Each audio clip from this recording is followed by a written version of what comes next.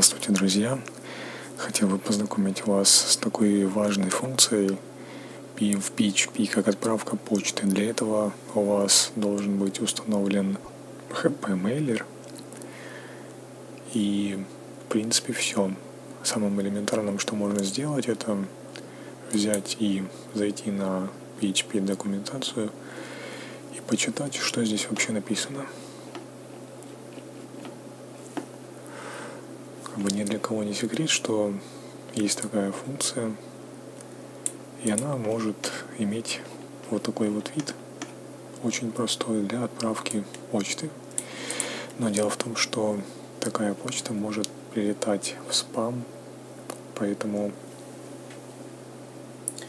нужно сделать ряд телодвижений для того, чтобы действительно вы могли э, отсылать почту с вашего доменного имени, и она при этом прилетала именно во входящие в основных хотя бы почтовых сервисах. Итак, пожалуй, начнем. Э, значит, первым делом, первым делом, первым делом самолеты я познакомлю вас с вот таким вот сервисом. Его, его можно использовать для того, чтобы понять, каким образом, ну, куда прилетает, собственно, ваша почта. То есть, как видите, здесь у меня есть такой вот результатик уже готовый, это 6,5 из 10. Но в принципе, в принципе, смотрите, я тестировал на нескольких десятках разных аккаунтов, и э, даже с таким результатом, там больше пяти, в принципе, э, почта уже прилетает именно во входящий, а не в спам. Поэтому э, можно считать, что если у вас здесь будет оценка 5, то это уже успех. Э, далее смотрим, как его вообще использовать.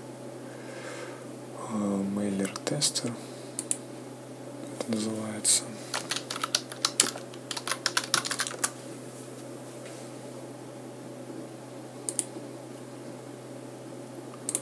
Смотрите, вы заходите на этот сайтик, и вам предлагают скопировать э, вот этот email адрес уникальный, на который вам нужно отправить письмо.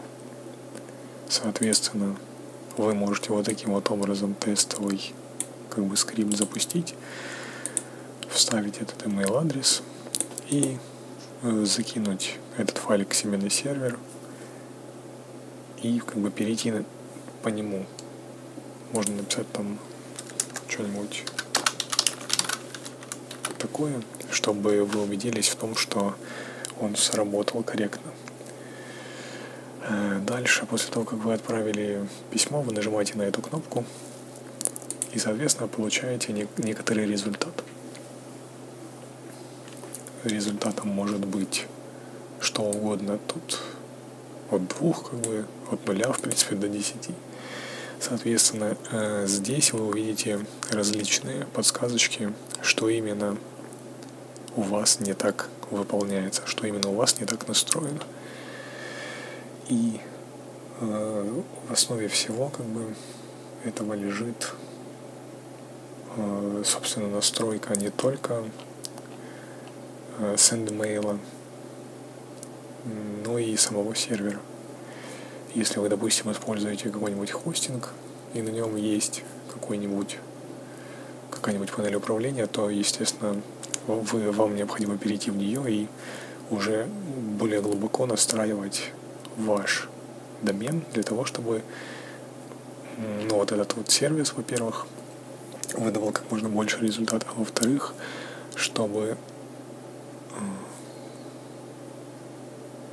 чтобы почтовые сервисы принимали ваше письмо как ну, нормальное, как бы давали ему свою там внутреннюю оценку, как хорошее письмо, не спам. Но сразу хотел бы предупредить, что данный сервис можно использовать всего три раза с вашего айпишника, наверное. Ну, в смысле, не наверное, а именно с вашего айпишника, наверное, три раза. То есть с одного IP здесь всего три раза. Либо же он как-то по-другому вычисляет это. Ну, в общем, всего три раза вы можете отослать письмо, затем вам придется платить деньги. Э, получается, здесь идет привязка к тому домену, наверное, откуда вы отсылаете ваше письмо. И на третий раз, когда вы отсылаете, уже как бы он просит деньги. Но для нас это не помеха. И, в общем-то, смотрите, в ESP менеджере мы можем сделать вот такую вот штучку.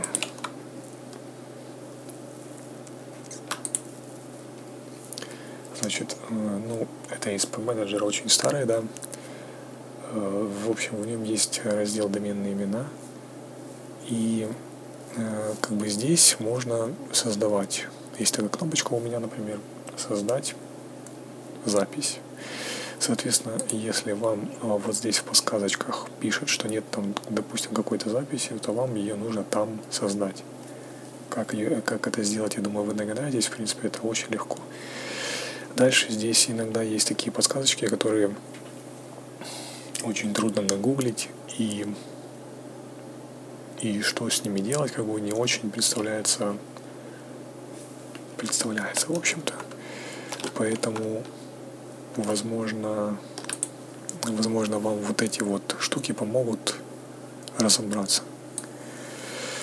Э, то есть я уже давно это делал, месяца два назад, поэтому конкретно не помню, что именно я добавлял для того, чтобы все это заработало у меня.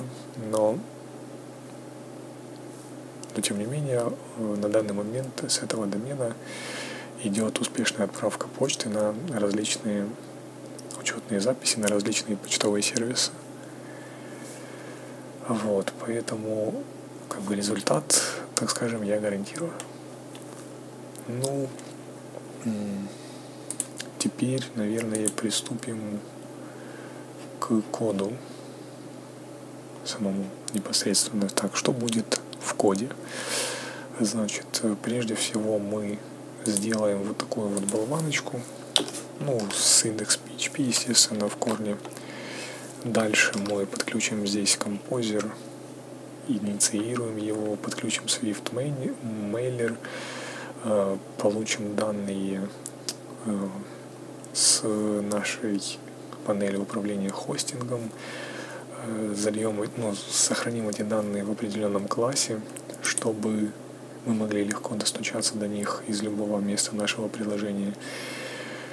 Дальше сверстаем письмо, допустим, возможно, даже сымитируем э, регистрацию пользователя администратором, потом,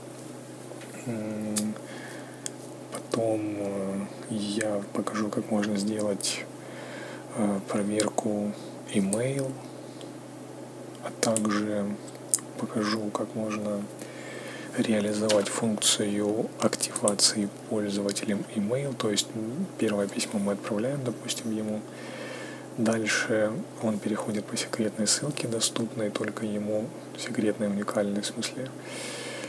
Э, это все проверяется в базе данных нашей. Дальше, получается, если мы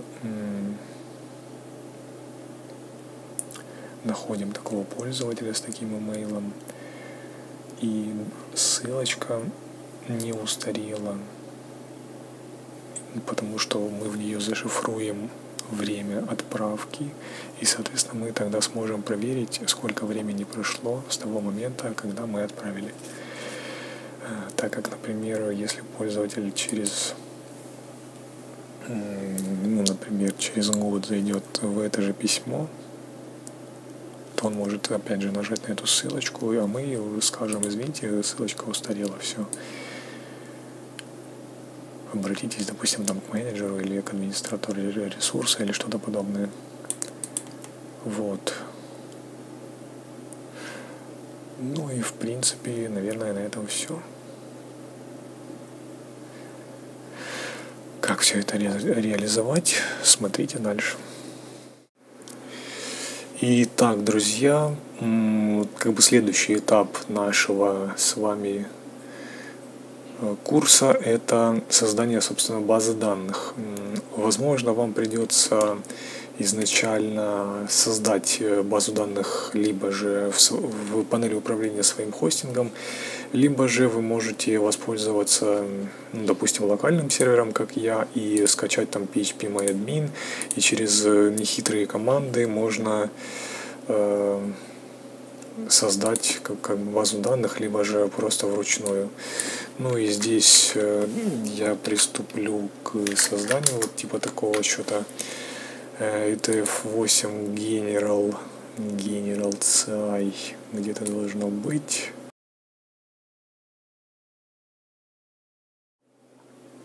Вот он, он и просто нажимаю кнопочку создать. Круто. Тест майлер закрыт. Значит, если такая ситуация возникает, что вы не можете создать базу данных через ну, PHP MyAdmin, гуглим MySQL create database.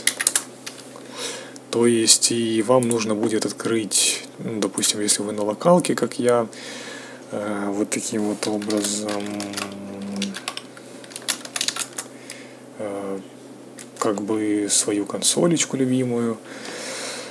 Дальше мы смотрим create database. Просто такую очень простую команду надо выполнить. Create data base. Ну, в общем, войти, естественно, под э, рутом. Далее... А, ну да, далее выполнить вот такую командочку MySQL. Сейчас я сделаю побольше, чтобы вам было видно, да? И вот так... Э, смотрите, я сейчас сижу под суперпользователем. Ну, это Linux, если у вас винда, то просто пишите MySQL, если он у вас установлен, конечно. И нажимаете Enter. Теперь мы как бы находимся в панели управления самой MySQL. Create database, пишем data базе.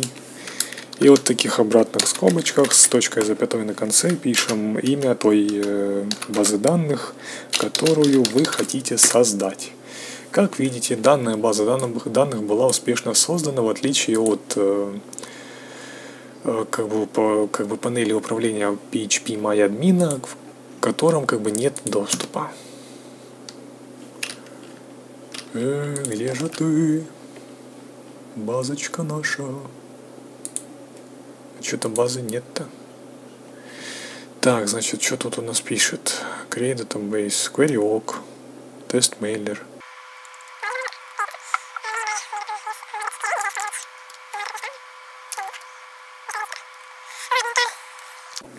Значит, э, как бы вы видели, что не создается почему-то база данных, но оказывается, что она создается. И опять же здесь мы можем выполнить вот эту командочку show databases, и я что-то тут думал, что ошибочки у меня какие-то.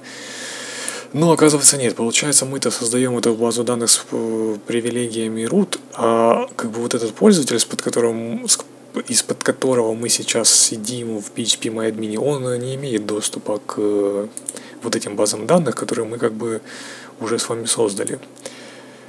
Поэтому ему необходимо отдать эти дать эти привилегии. Вот так берем, копируем, можно, допустим, и тыдынь вставляем вместо этого. Получается, вот он мой пользователь, identify, identify by, такой вот пароль у меня.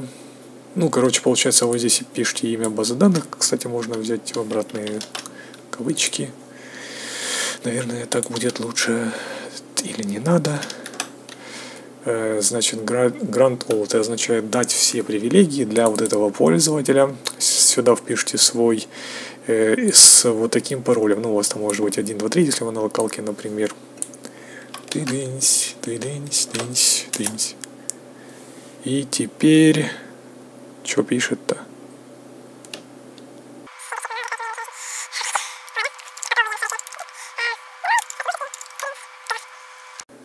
Короче, все-таки нужны обратные скобочки здесь, потому что, как бы, ну, если бы мы просто здесь вставили, то это бы сработало. А здесь, получается, почему-то не хочет, поэтому либо... Нет, только обратные вот эти вот я пробовал, они не ставились. И теперь, получается, в PHP MyAdmin мы можем увидеть тест мейлер, ура, ура. Заходим сюда. И смотри, в чем логика? Логика в том, что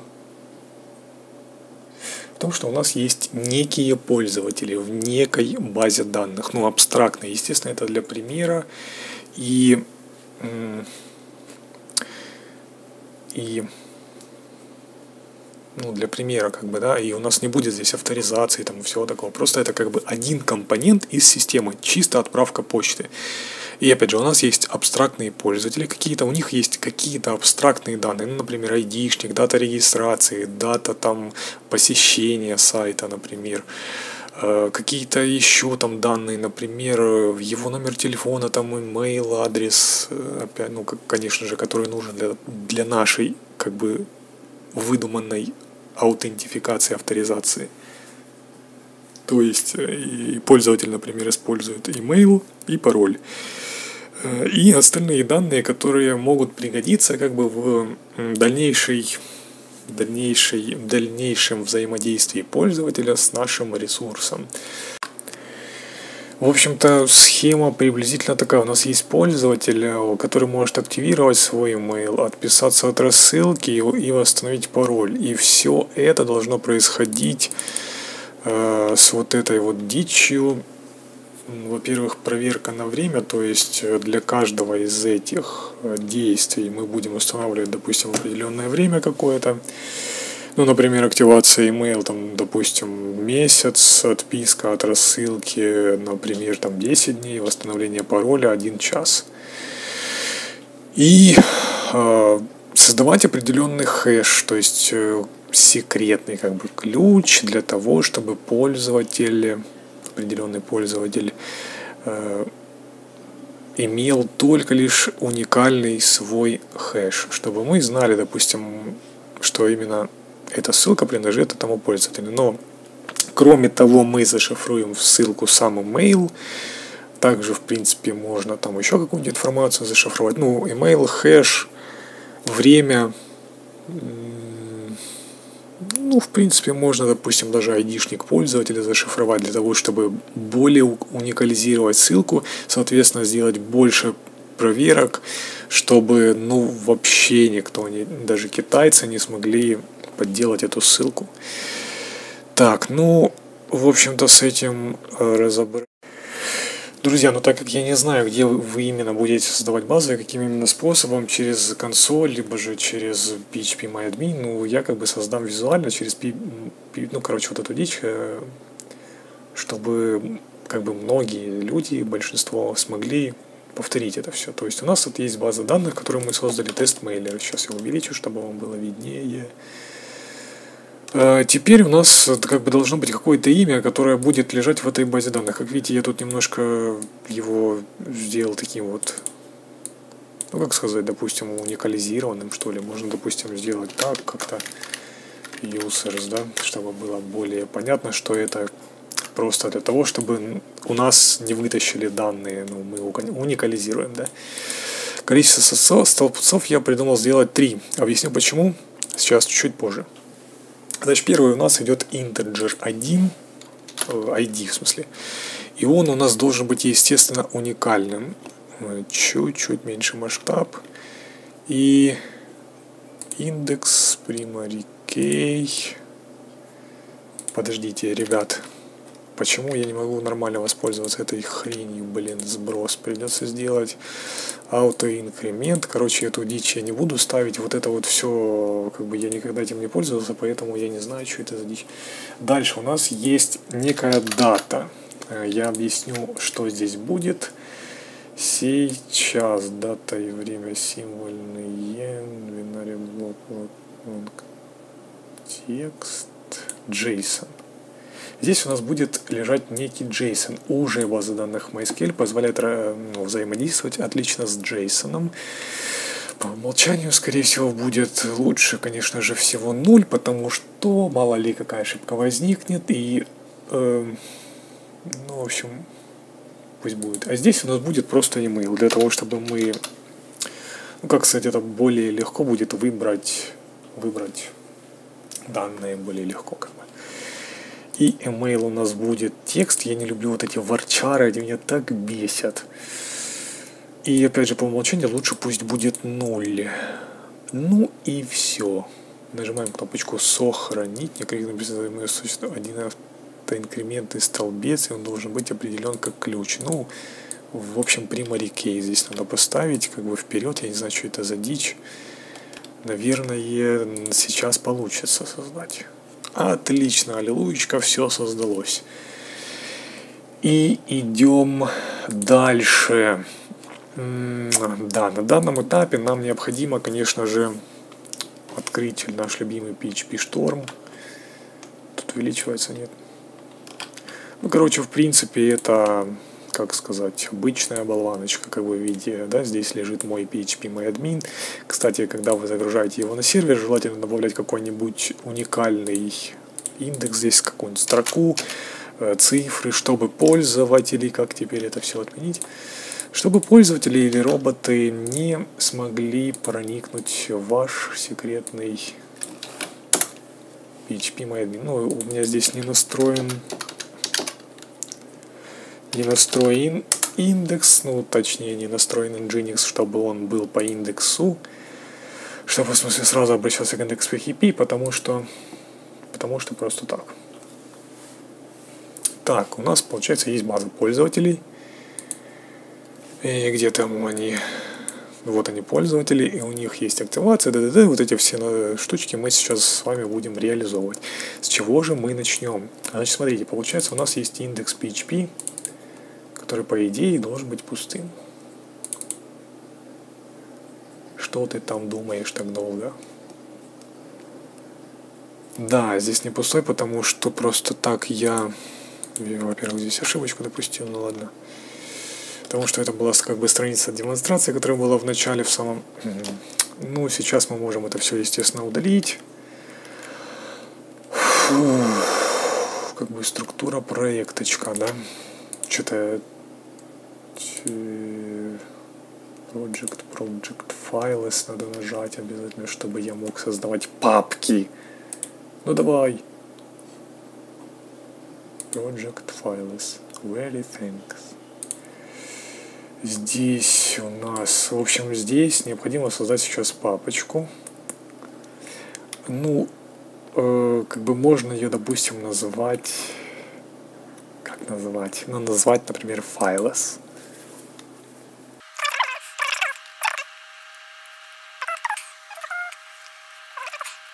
Короче, папочку я создам здесь просто. Вот нажимаю F10 я, да, и я создаю папочку под названием Files. Также я создам папочку с э, названием класс с большой буковки. Так, собака. Classes, files. В папочке файлов я создам такую папочку с названием email tpl. tpl. Email tpl. Теперь дальше что там у нас?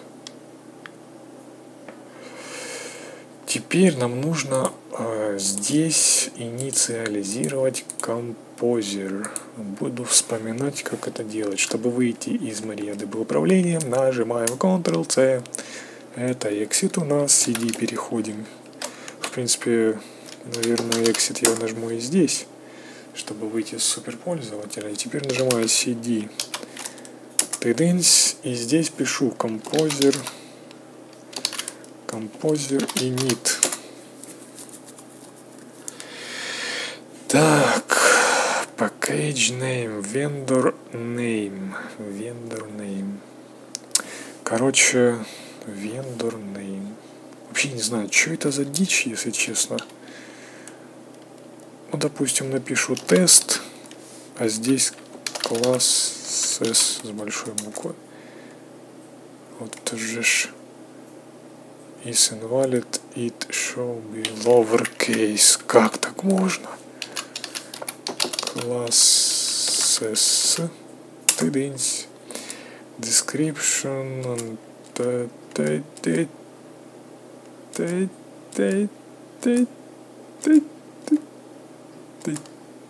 Все отлично.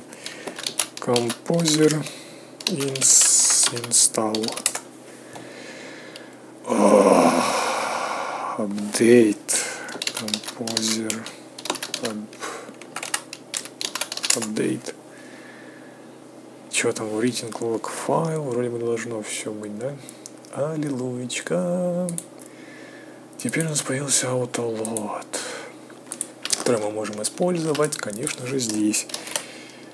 Php дальше. Require once. Ну давай php vendor так, ну, короче, по стандарту я сделаю define. Define uh, root. И здесь uh, get env. Да что ты? Давай нормально а, не уделывайся пожалуйста. Ну это я сам собой. Uh, get env. Документ документ root плюс косая черта таким вот чудесным образом. И у нас получается, что э, теперь путь будет иметь э, вот это вот все и с косой чертой. А обычно он был, был без косой черты. Ну, в принципе, сейчас я, может быть, увеличу. Тынь-тынь. Вот, если кому-то не видно. Получается, вот такой у нас root. Ну, соответственно, вот он. И у нас, получается, здесь лежат все файлики. Require once. Я лучше скоперну, конечно же, vendor autoload. Блин. Так, надеюсь, у меня сейчас все получится. Vendor. Так, без косой черты. И смотрим. 127.001. Ты куда пропал? Так, так, так. Индекс PHP. Ну, как бы работает. И, конечно же, необходимо сделать set display errors 1, чтобы мы с вами видели все ошибочки, которые будут возникать на протяжении этой всей дичи. Э, вот это вот мне не надо, спасибушечки. Так, ну, конечно, уже было бы круто, если бы... Ах, Джинкс. Джинкс, Джинкс, э, по идее, по идее вот так. Index.php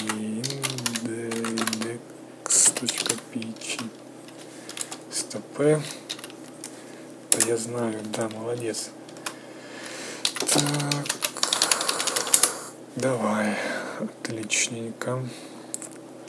Теперь сум system нет вот, это же тебе не Debian. Что? User system does not exist for... А, sudo, блин.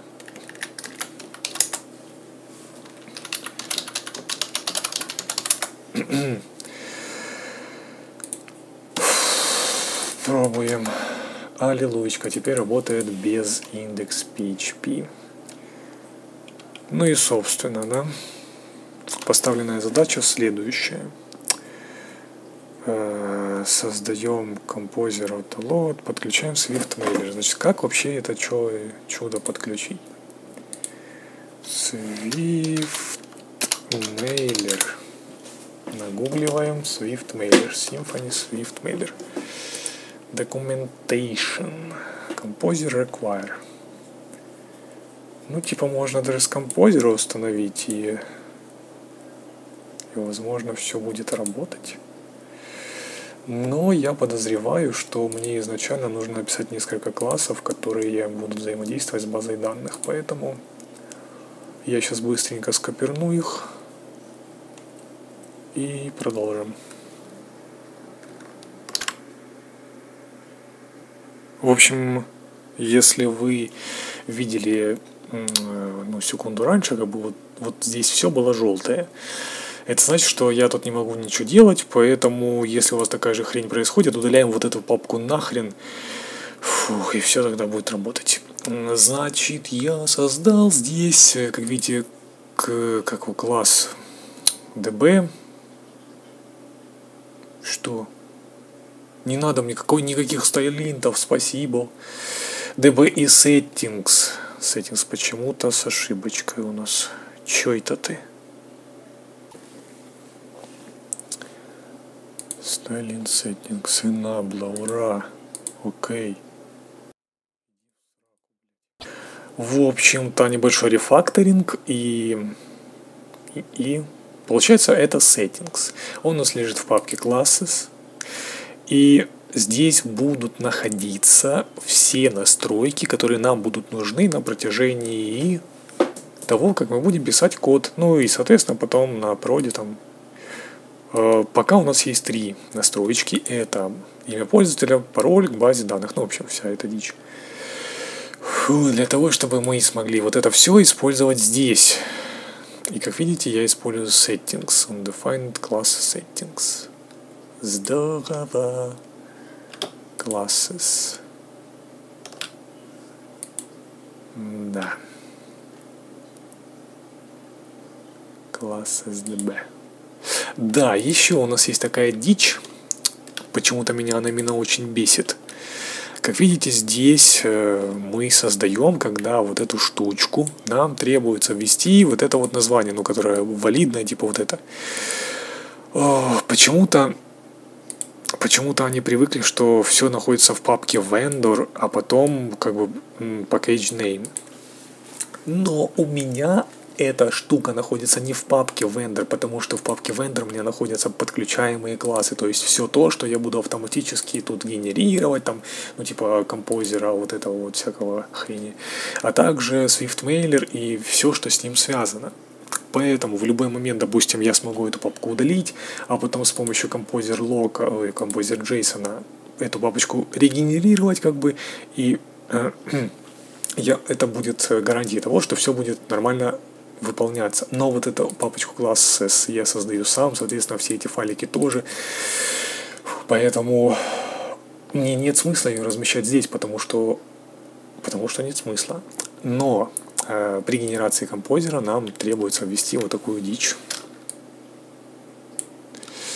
И поэтому ее нужно переписать на свою.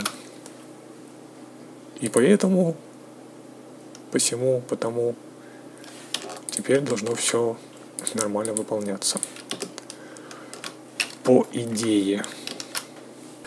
Здесь надо использовать классы settings чтобы это все подтянуло этот класс, что ли. Короче, трай у нас, э, что тут, короче, set, напишу сокращенно, use settings, теперь set, это у нас array, а в array у нас есть вот такая вот функция. А, можно, в принципе, сразу взять и сделать get, да? Get, и это у нас метод. И это у нас вот так можно сделать в круглые скобочки. И по идее теперь у нас это должно быть array. И значит... И значит, вот это у нас все должно быть. Ну, на всякий случай проверим. If no is set set ну, можно даже было подсказать, ну ладно. db user or no is set тын-тын, тын-тын-тын, тынь, тынь. Э, так, так, так, db user. Ну, получается, это очень нужные данные, и поэтому нам нужно их проверить, существуют ли они в настройках, потому что, ну, мало ли кто-то случайно их удалит, и этот кто-то буду я. Значит, э, что-нибудь такое напишем. Эхо. Например, db settings error. Конечно же, сделаем exit. Ну, можно еще сделать вот так. The row new error exception. И, соответственно, здесь Э, я не помню, э, есть ли exit, но на всякий случай я напишу. Ну, вроде бы он есть, да, как он подсказывает пич. Короче, шторм. Короче, это пользователь не будет видеть, к сожалению, но при включенном логировании ошибок, которые будет в следующем видео, я расскажу, как это сделать, мы увидим, наверное, вот эту ошибочку.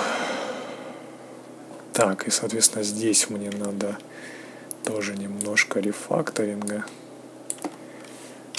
потому что и здесь мы сделаем вот так 0.1, а здесь мы сделаем 0.2. И все. И нам потом будет, будет очень легко найти эти ошибки. db user у нас получается. db name user password и db name. Итого сейчас мы сделали такую штучку, как подключение к базе данных. Вообще, как бы, хорошо было бы посмотреть, что тут у нас находится. Exit. Exit. Так, индекс PHP. Класс SDB. Ну, давай попробуем. Прямо в индексе, да? DB new classes settings не надо. DB. День, день, день. А, что ты нам скажешь? Ну, вроде бы он подключается. UDB это у нас конструктор, значит он выполнится сразу и по идее not found in 10 круто, ладно, давай попробуем так DB, да, вроде бы все загорелось, теперь подключилось и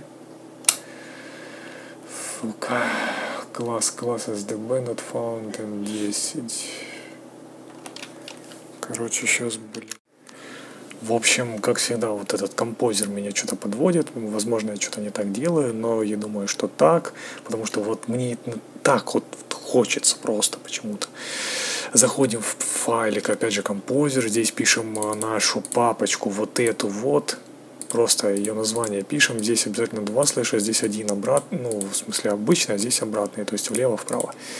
И потом делаем Composer Update. Вернее, install. Install. Composer install. И э, получается у нас там регенерируются заново файлики. И теперь все выполняется. Смотрите, получается, я сейчас сделал vardump, Ctrl-U, и мне прислали вот такие вот штучки интересные. Ну, получается, что э, здесь в DB я сделал вардамп, как видите, вот. И, соответственно, мы его видим. Это наш, наш, наш, наш класс settings, в котором вот есть вот эти вот все хрени. Мы можем, допустим, здесь сделать вот так getDB, чтобы именно ну, брать настройки базы данных, да, чтобы они вдруг там куда-нибудь не утекли когда-нибудь getDB.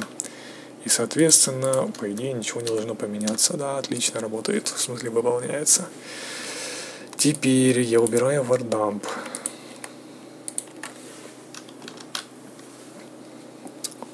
Пум-пум. Ух ты, даже нет никаких ошибок. Так, db new db. db new db что-нибудь надо в DB залить, чтобы проверить, насколько это все у нас отличненько. И значит SQL можно выполнить вот таким вот образом. Insert into data values. Ну, ID можно не засовывать никуда, а все остальное чисто для теста можно и поместить вперед. Values. Для провалилась. Констант. Users data data email чего? Insert ну просто ID мне не надо. Values 2 3 а получается дата у меня JSON соответственно должен быть JSON формат вот типа такого кверт 1 вперед. И, как можно увидеть, все выполнилось. Соответственно, теперь я могу сделать запрос. Ага, теперь, получается, в базе данных, ой, вернее, в настройках я хочу еще сделать, сделать э, getdb колу, колу мнс. Я думаю, вы теперь понимаете, что это. Колу колу columns. Получается здесь я хочу сохранить э, название колонок. Return, получается user. У меня будет user, user, user. Ну вот так получается это. Так, user, users. У меня будет вот таким. А здесь у меня будет self еще добавлено. This. Get db getdb здесь такая вот штукенция. Password user name но также это нужно обернуть еще а, вот в такую дичь. Кавычки обратные. Тынь, тынь, тынь, тынь, тынь. Это пока не надо. Users получается здесь get the name. Ну, по идее, по идее. Так, что там у нас с SMTP? tp равно db query select короче сейчас в принципе я перепишу куда-нибудь from db db есть теперь use settings New settings, если что, Ctrl-D. Set.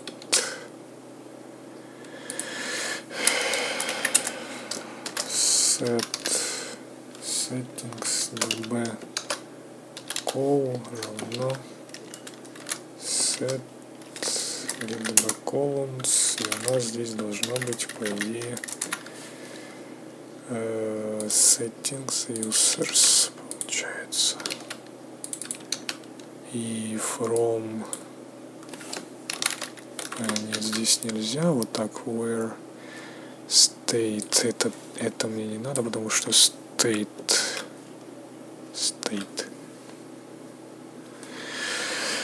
В принципе, ладно. А, посмотрим, что она нам вернет. Вообще вернет ли что-нибудь. На всякий случай exit, я просто так привык. И, пожалуйста, верни что отличненько. То есть у нас база данных э, как бы взаимодействует с нашим бэкэндом. Значит, все отличненько. Естественно, в индекс PHP мы не будем писать никакие забросы и подключать базу данных. Это все было сделано ради теста. Э, как бы того, что все классы подключаются, композер там корректно работает, и вообще сервер настроен правильно. И что у нас дальше? Так, Swift Mailer у нас дальше. Значит, вот это все можно пока убрать. Закомментируем пока. Ну, естественно, потом это все нужно будет вообще удалить. Swift Mailer. Значит, какая у нас там схемочка получается? В принципе, мы возьмем сейчас нашу базу данных.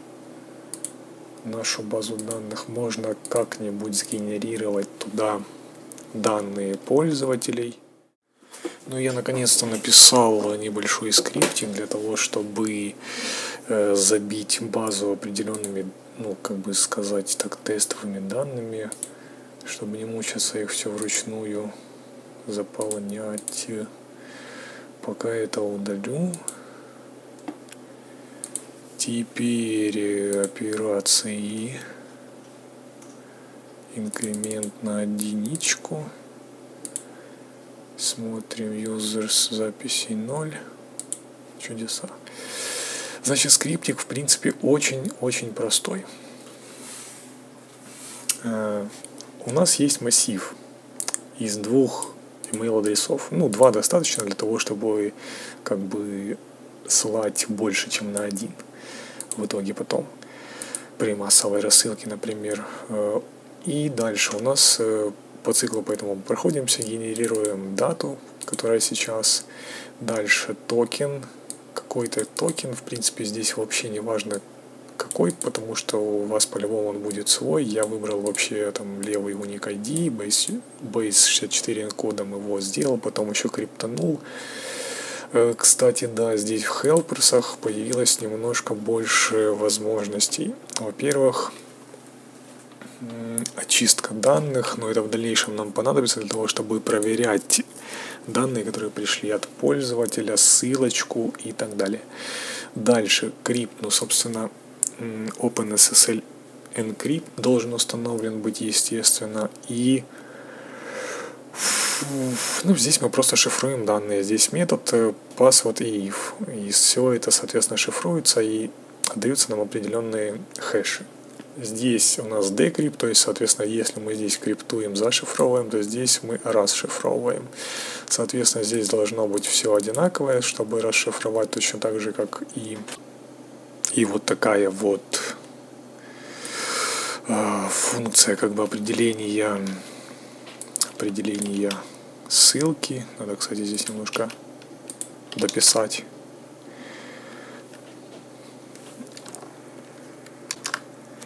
в индекс PHP э, сейчас находится, ну, опять же, тестовый скрипт, который я написал, который генерирует, генерирует определенные данные. И сейчас мы посмотрим, как он отрабатывает.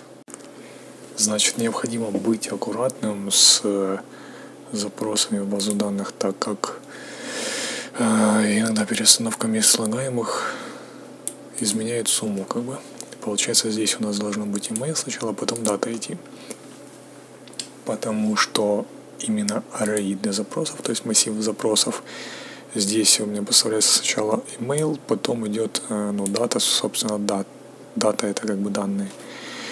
Э, здесь получается то же самое. У меня сначала идет email, потом дата. И выполняется запрос. А если э, изначально как было поставить вот так, дата, потом email, то, соответственно, будет э, ошибочка вот такая вот. Есть невозможно, э, невозможно обновить данные, ну, в смысле, интегрировать данные, так как вот такая вот ошибочка, в общем, и получается сейчас все должно выполниться. Так как пустая страница, значит ошибок нет, значит смотрим users.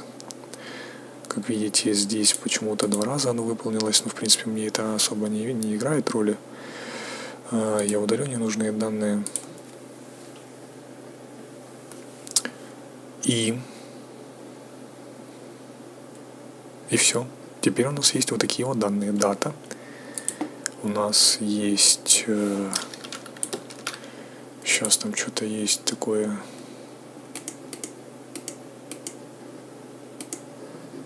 Что-то у нас есть такое... JSON... JSON форматор. И пишем вот так вот. Получается, вот у нас данные. Сейчас, секунду, увеличу. Это у нас э, дата, когда мы отправили сообщение. Это у нас токен для активации email. Это у нас пароль пользователя. Ну, в принципе, я здесь просто чисто опционально это поле добавил. И токен to unsubscribe, ну, я, в принципе, здесь сделал один. Один, как бы, токен, это для всех отправляемых писем. Вы можете сделать для каждого свой уникальный и генерировать его постоянно. Я сделал просто один.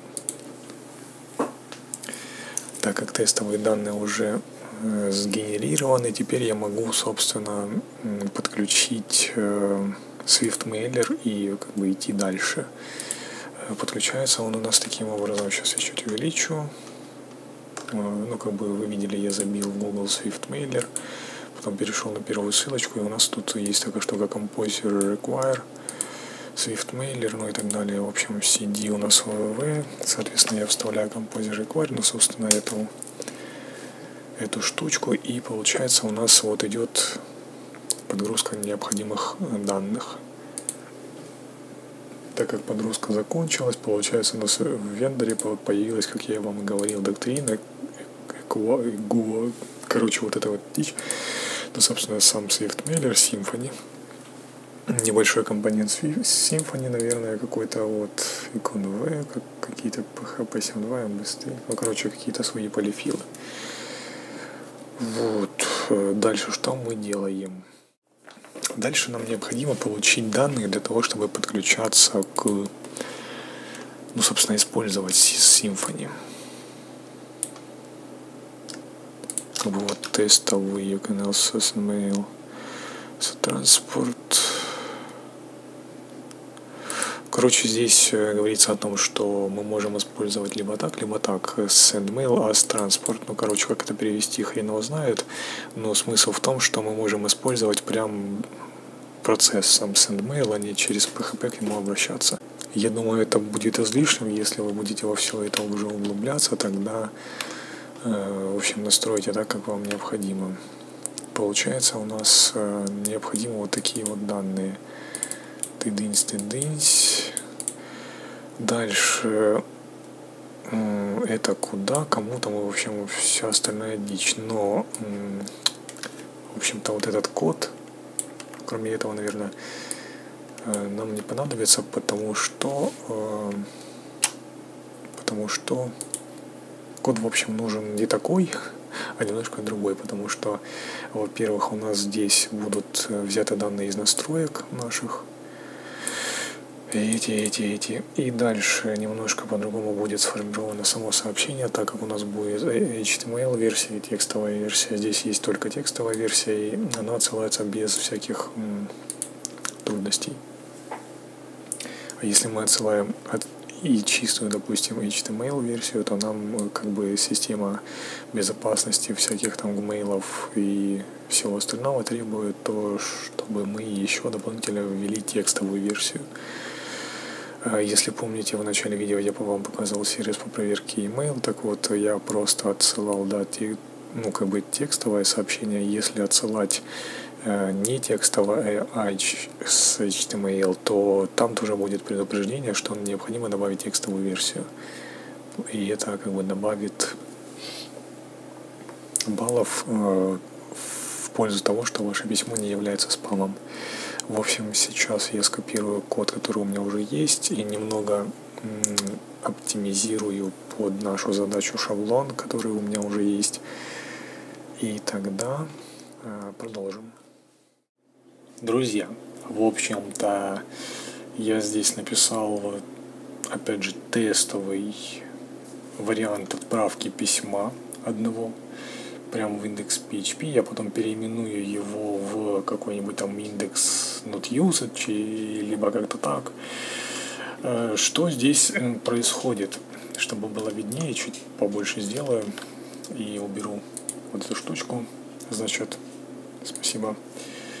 А, во-первых, мы указываем константу, во-вторых, мы подгружаем автолодер, дальше мы используем определенные наши классы, которые написаны были. Теперь, ну так как это тестовый сервер, запущенный у меня на машине и смотрящий в мир, ну то есть по моему IP-адресу внешнему можно достучаться из мира на мой компьютер, как бы.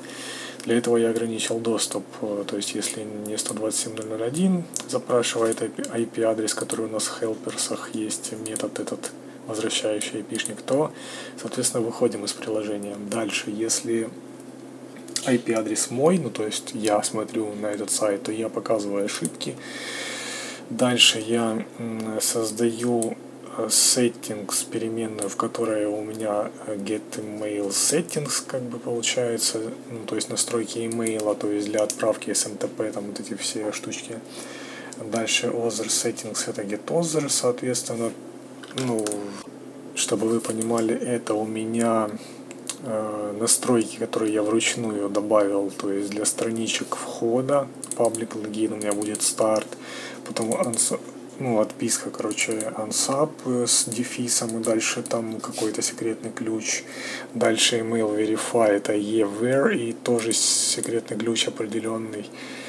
И вот получается, после всего этого кода у меня идет э, проверочка, то есть э, есть ли подпись электронного письма, ну и вообще существует она или она не пустая. Дальше я э, применяю к ней такие штучки, как замену, замену определенных, э, ну, в общем-то, сущностей, вот этих спецсимволов на RN, то есть новая строка. А здесь для HTML версии я заменяю на BR, то есть на перенос строки. Ну, в принципе, это можно было делать, можно было не делать. Это уже ваше как бы предпочтение. Я сделал именно так. Дальше проверяю, если вот, ну, получается, опять же, это все из настроек взято, логин, пароль, хост, порты, протокол из настроек именно SMTP, это вот этих вот имейловских получается. И э, так как они все очень важны, я проверяю их присутствие, ну хотя бы присутствие, то есть можно проверить, не пусты ли они, там и определенные значения, ну какие-то там, может быть, у вас будут какие-то верификационные данные там на предмет того, что, допустим, логин это должен быть email, там хост это должен быть ссылочка в URL, но это уже, опять же, на вашу усмотрения я э, так не заморачивался, и у меня получается, если этого нет, то я выбрасываю ошибку. Опять же, напомню, в следующем видео я покажу, как перехватывать эти ошибки, логировать их, э, складывать в zip архив и тому подобное. После чего я генерирую как бы секретную ссылку.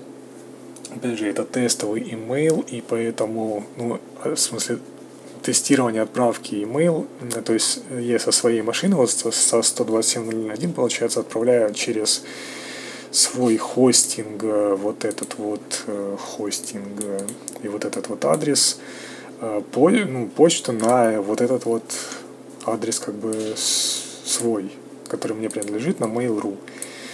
Ну, это, естественно, не реклама, я вообще сам не пользуюсь этим у нас сервисом, ну, в смысле, хорошим сервисом. Э, дальше это мне просто какой-то текст, который я пересылаю пользователю. У меня в, ну, на проде, который я делал заказчику, там идет список э, заказов и изменения в них, допустим, там есть номер заказа и что в нем поменялось, э, ну, в принципе, можно не забивать этим голову. Например, типа в интернет-магазине то же самое можно реализовать. Допустим, вы заказали, первый mail приходит там э, благодарим за ваш заказ, э, вот список, допустим, ваших там товаров, которые вы заказали, а потом следующий, допустим, email, ваш заказ с такого-то, ну, допустим, номер такой-то, изменил статус, например, с там на складе на статус, допустим, прибыл на место, там, где вы забираете его. Дальше message именно HTML-версия, ну, здесь, как, как вы понимаете, должно все быть именно валидный HTML, и обязательно вот оставляйте вот эту, вот эту вот штучку, короче, потому что некоторые, ну, наверное, в принципе, даже я тестировал, по-моему, и сам Mail.ru, когда просто здесь ставишь современную HTML 5 версию, там где черсет просто вот UTF-8 пишешь, он не воспринимает. Соответственно, вся верстка должна быть э, как бы без использования стилей, все должно быть инлайновским, то есть внутри каждого дива или каждого элемента прописан свой стиль для определенного элемента. Так, соответственно, все эти переменные, ну, как бы уже там по вашему усмотрению вы там добавляете, убираете, как э, вам вздумается. И обязательно, обязательно должна быть ссылочка для того, чтобы пользователь мог отписаться. Э, дальше мы все это, конечно, уже будем подтягивать из базы данных и в цикле выполнять это все. Теперь, э, да, теперь эм, текстовая версия, которая должна быть обязательной. Если ее не будет, то как бы сообщение может прийти в спам. Ну, желательно ее иметь. Как бы в текстовой версии обязательно заключаем двойные кавычки, так как это э, ну, тут будет много переменных, и нам надо использовать вот эти вот спецсимволы ARN, там, ну, в принципе, я тут n только использовал, но это как бы не inline, я думаю, вы в курсе. Значит, здесь у нас подставляется company name, ну, то есть the, есть ну, короче, какое-нибудь название там ваше. Дальше мы пишем там какой-то текст, опять же, вот этот long текст, который здесь написан, будет подставлен. А обязательно, получается, здесь делаем ну, двойной перенос, потому что как бы эта верхняя шапка потом идет, ну, получается, здесь будет вот так. Если бы был один э, перенос, то было бы просто вот так. А теперь у нас, так как два, получается два, соответственно, переноса строки один и второй. Вот здесь один, второй. А, так как, естественно, если вы просто его поставите, то, скорее всего, он не при, ну, придет в виде вот таком. Даже если вы поставите перенос строки, как бы сам символ, то он, э, скорее всего, придет вот в таком виде, а не, а не именно как перенос строки будет работать. Ну, соответственно, здесь эм, дальше уже сформированный из этого HTML как бы текст, который текст просто подставляющийся в переменную текста. И здесь опять же идет ссылочка для того, чтобы отписался человек, если что. Далее, самое интересное, это, естественно, вот эти вот строчечки. Значит, смотрите, получается, на, ну, на, на проде у меня вот эта вот штука вообще отключена. Я э, тестил тестил на проде, естественно, тестил без нее, не помню, отправляется или нет. Но, в общем, она у меня закомментирована, поэтому смотрите, будьте с ней аккуратнее. Получается, этот LS э, отправка сообщения, скорее всего, наверное, оно будет закодировано. Ну, опять же, по как, как типа HTTP отправляется. А здесь у нас э, из настроек берутся вот эти вот штучки все. Сейчас я вам покажу. Получается, вот эти вот все штучки берутся отсюда и подставляются, естественно, сюда. Э, для того, чтобы, э, получается, с любой машины, в принципе, вы можете загрузить это на любой хостинг, но если у вас настройки, допустим, этого всего, опять же, подключены к другому хостингу, например, у меня к этому, а я, например, сейчас отправляю вообще со 127.0.0.1, и как бы все выполняется, все отправляется. Дальше у меня здесь date, э, ну, соответственно, ну, как бы я так привык, что, допустим, э, когда отправляю сообщение, обязательно пишу дату, чтобы как бы новые сообщения, они не прилетали в одну и ту же цепочку сообщений, оно, ну, это получается как бы немного уникализирует сообщение, и оно не э, присылается в одну цепочку сообщения, как бы постоянно прилетает новое, новое, новое, и, соответственно, пополняется список сообщений. Дальше мейлер, Swift мейлер, транспорт, ну, в смысле, вот эта строчка, тут э, как бы ничего объяснять не надо, потому что она как бы просто вот на ее так надо написать, потому что транспорт это у нас вот эта штучка, а SwiftMailer это у нас какой-то класс, который мы подключаем. Теперь message, самое интересное, э, как вы помните, в примере, который тестовый именно находится на на официальной как бы странице SwiftMailer, там он очень простой, без э, без вот этой вот HTML версии, как бы тут просто ну, отправка без этой штучки. Фух, поэтому э, необходимо как бы использовать, если вы хотите, чтобы ваше письмо не попадало в спам, а естественно вы этого хотите, то, соответственно, желательно использовать именно вот этот вот, вот код и ну, соответствующим образом его там у себя обрабатывать каким-то образом. Дальше хедерсы. Обязательно, обязательно добавляйте list unsubscribe, ну, короче, ссылочку для отписки. То есть э, в некоторых сервисах, например, таких как вот этот вот э, любимейший Mail.ru, вот есть такая вот, видите, кнопочка «Отписаться от рассылочки», и вы можете ее нажать, и по идее, по идее, ну, отписаться от рассылки должно сработать. То есть Mail.ru сам пошлет на вот этот адрес, который вы напишете здесь. Ну, вот здесь вот получается запрос, и этот запрос должен выполниться, и, наверное, по идее, человек должен отписаться. Ну, такое, такую штучку я видел только в этом Mail.ru, которым я не пользуюсь. А, Касперским защищено, Господи, благослови. А в других сервисах, соответственно, такой кнопочки нет, и есть возможность только вот типа сюда нажать, вот как бы внизу, видите, здесь отписаться от рассылочки. И по идее этот запрос, когда вы просто нажмете, естественно, естественно откроется новое окно, и там уже ваша будет логика, а не вот этого вот сервиса, как бы непонятно вообще, как оно работает. А, в общем-то, ладно. Здесь есть волшебные такие три, три точки, которые как бы незаметные, но если на них нажать, то появится такое большущее меню, и, и тут еще есть еще, и на него надо нажать, и получится служебные заголовки, чтобы их посмотреть. Ну, это как бы интересно для как сказать, более продвинутых, что ли. Э, и получается, как бы здесь у нас есть вот такая вот э, кракозябрина. Вот. И как видите, лист он subscribe, он добавляется, естественно, я здесь изменил опишник, э, вот в такую штучку. То есть, то есть, то есть, вот эта вот кнопочка, она, скорее всего, ходит по вот этому адресу. То есть, в принципе, вы можете, если человек нажимает здесь, э, вот на эту ссылочку, сделать одну логику, а, соответственно, если отписаться, то другую. Наверное, все-таки он ходит по этому адресу. Но, короче, если у вас критично для Mail.ru, то подстройтесь под него. Дальше здесь есть много-много всякой технической информации. Ну и, в принципе, мы видим, что как бы все корректно отображается и письмо прилетает. Соответственно, вот это вот лого, которое вот здесь правее чуть-чуть, оно э, подгружается с нашего сервера, но через прокси Mail.ru.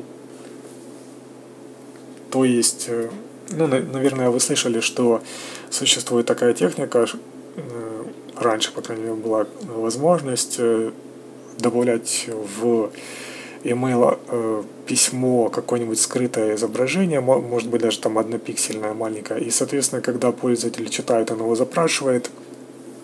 И таким образом, когда он, оно запрашивается, э, на самом деле это там, допустим, может быть вообще не изображение, а просто скрипт, который как бы выдает себя за изображение, и с помощью данной технологии можно было узнавать, прочитал письмо человек или нет, ну и, соответственно, там может быть взять его кукисы и так далее. Но естественно, эту, эту штучку убрали, потому что это немножко небезопасно и ну, палит конфиденциальность пользователя, а сейчас же все в мире там супер-пупер-мега конфиденциальные, поэтому э, такую штуку, как подростковое изображение, решили многие сервисы сделать через прокси. А по старинке э, более таких непродвинутых как бы почтовых сервисах есть такая штучка, как показывать изображение. Изначально они не подгружаются.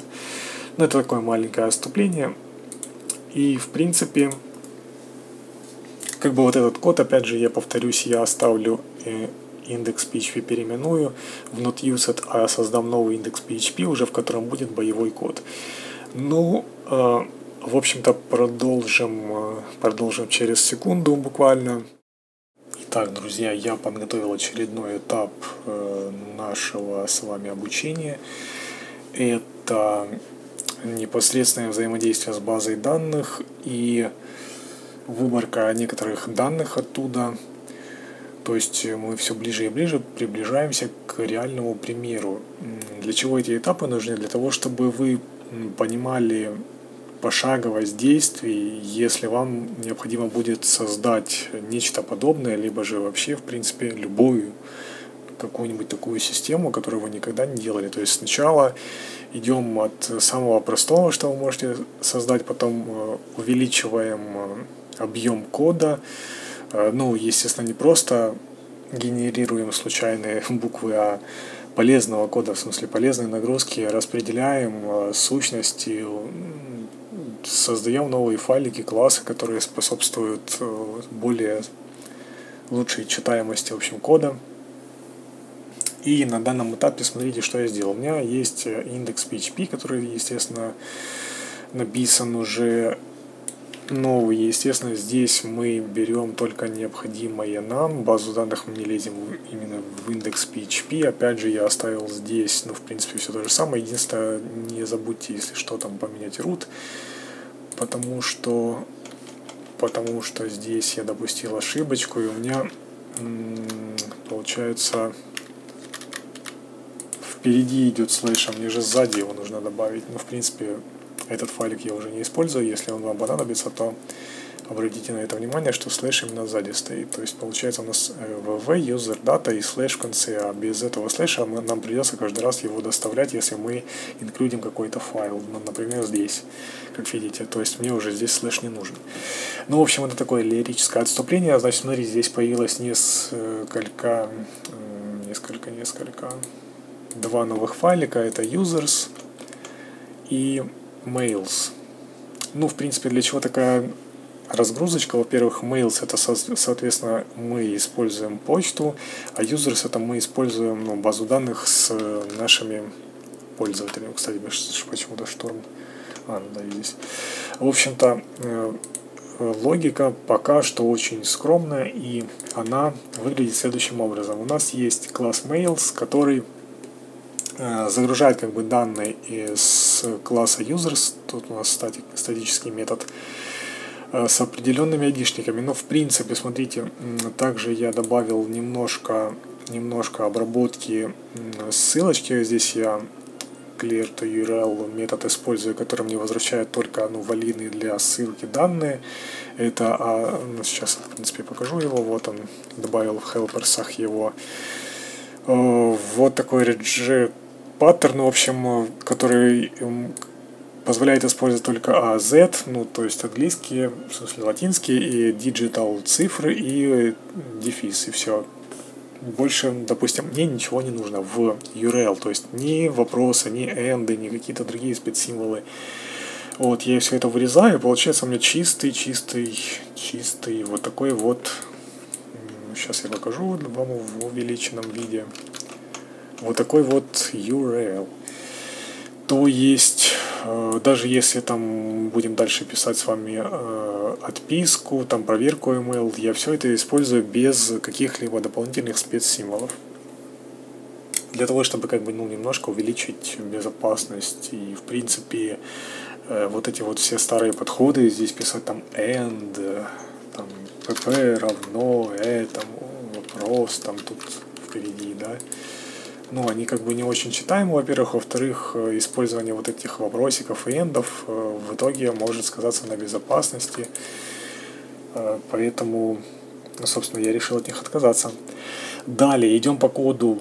Получается, у нас есть переменная root, в которой мы записываем запрашиваемый URL. Если мы находим вот такой вот супер-пупер URL, ну, в принципе, я думаю, тут понятно, что если мы запрашиваем URL адрес супер-пупер, который в роуте находится, да, то есть идет совпадение, совпадение вот этого адреса с тем, который как бы мы заранее прописали. То есть получается это ну админская часть, как бы, которая у вас там будет своя определенная. Естественно, я ее писать не буду, потому что я не знаю, какая у вас будет и какие там функции вам нужны и так далее. То есть у вас она будет какая-то своя. Я показываю вам просто как как можно использовать отправку сообщений не используя сторонние какие-то сервисы, а используя только свои сервисы. Значит, у нас есть запрашиваемый URL такой, если он соответствует, то мы подгружаем подгружаем вот этот шаблончик. Шаблончик, соответственно, ну, очень простой. Супер Popular URL это как бы админка имитируемая. Если я по нему перехожу, то тогда, получается, мне нужно отослать письмо какое-то. Здесь я вручную написал айдишник, допустим, который мне нужен, ну, например, здесь 8, пока что для теста, я его просто хотел вытащить, то есть э, получится или нет. Ну, просто проверяю выполняемость кода, так скажем. Э, в классе users, естественно, будет, э, ну, это я опять же повторюсь, сделано для того, чтобы сделать код более читаемый. Email у нас за email отвечает, user за users, ну, за пользователей. Есть у нас тут get users data, то есть здесь может быть как как один пользователь, то, то есть выбираться, ну, допустим, я укажу там один, один айдишник, ну, естественно, допустим, у вас какая-то база данных есть, у вас есть какой-то там перечень, да, либо вы зарегистрировали пользователя, потом получили айдишник, и вот у вас айдишник этот прилетает сюда. Соответственно, вы хотите ему послать письмо, там добро пожаловать на наш портал, сайт там, и так далее, ваши данные такие-то для входа, там перейдите по этой ссылочке и так далее. Вот, получается, сюда мы передаем айдишник этого нового пользователя, да, э, и, соответственно, нам нужно вернуть какие-то данные. Каким образом мы можем вернуть? Здесь я просто проверяю, э, смотрите, если э, есть запятые, если есть запятые, то получается это уже несколько пользователей. Соответственно, нам нужно, э, нам нужно вот это все превратить в массив данных для того, чтобы в итоге потом вот здесь вот сделать запрос в execute. Э, поэтому э, я очищаю как бы данные эти от ненужных мне символов. Ну, это как бы такая мягкая, как, так скажем, предварительная очистка. Дальше это все эксплодится, то есть разбивается с помощью запятой на массив, в котором, получается, идет айдишник. Вот 0 это 1, 2 это, допустим, ой, ну, получается, короче, э, ну, ассоциативный массив, сейчас, в общем, я вам покажу, вот он, в принципе, array, получается, 0, integer 8, и все, если я добавлю, допустим, сейчас здесь 5, запятая 8, то, соответственно, здесь будет 5 и 8. Э, и все это я превращаю в массив, опять же, для того, чтобы Э, сделать запрос в базу данных. Если я не обнаруживаю здесь запятой, то есть, ну, в принципе, я думаю, вы адекватные люди и точки там ставить не будете, но все, потому что все разбивается с помощью запятой, то здесь, опять же, я создаю такой вот массив импровизированный, где нолик это у меня получается integer, я по-любому привожу к integer, потому что это должны быть айдишники именно, user ID, как видите, здесь переменная. Опять же, очищаю эту переменную на всякий случай от каких-то там ненужных мне символов, а потом, э, ну, присваиваю ей какое значение интеджера. И здесь получается у меня dump, где вы видите просто здесь делаю вот такие штучки, чтобы потом, если их будет несколько var дампов, этих не потеряться в них. То есть в одном файле, во втором, а потом э, ходи ищи, где у тебя var дампы эти. И вот получается он отображается. Ну и такая вот информация, в общем, здесь выводится пока что.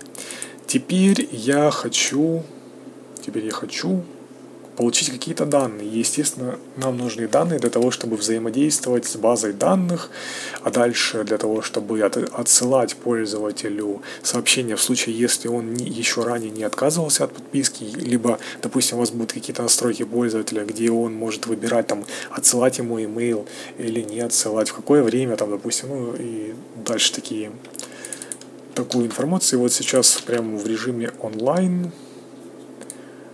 так, fetch. Получается, у нас здесь возвращается объект, как вы видите. В принципе, очень удобно сделали, что теперь можно видеть типы возвращаемых данных. И, ну, здесь у меня просто return получается. Return.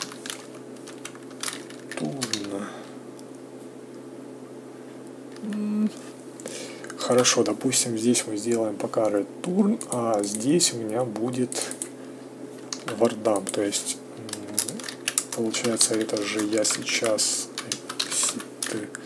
и здесь какая-нибудь там случайная строка на всякий случай так, вардам, что у нас тут? Fatal year, PDS, valid parameter number.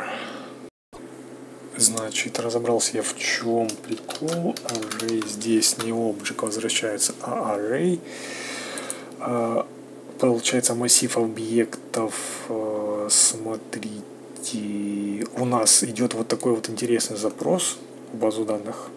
Получается, здесь все-таки правильно, что создаются массивы, то есть либо в этом случае массив, либо в этом. Но дальше мне нужно его разбить на, строк, на строку. Э, и все это оборачиваем еще мы в array, то есть в массив. И что это тут я еще делал? Тынь-тынь. Ну, вроде бы все. Получается так, что у нас сейчас возвращаются вот такие вот данные. Массив, в котором есть э, нулевой индекс, объект, и в котором, соответственно, есть вот такие вот значения. Например, ну а, а как, допустим, вы можете сейчас видеть, айдишник у меня пятый и шестой, то есть у меня сейчас два имейла, которые я автоматически, если вы помните, ранее формировал, пятый и шестой. И, соответственно, здесь я могу выбрать пятый и шестой в, в индекс PHP. В индекс PHP. И И почему нет ничего? Пятый и шестой.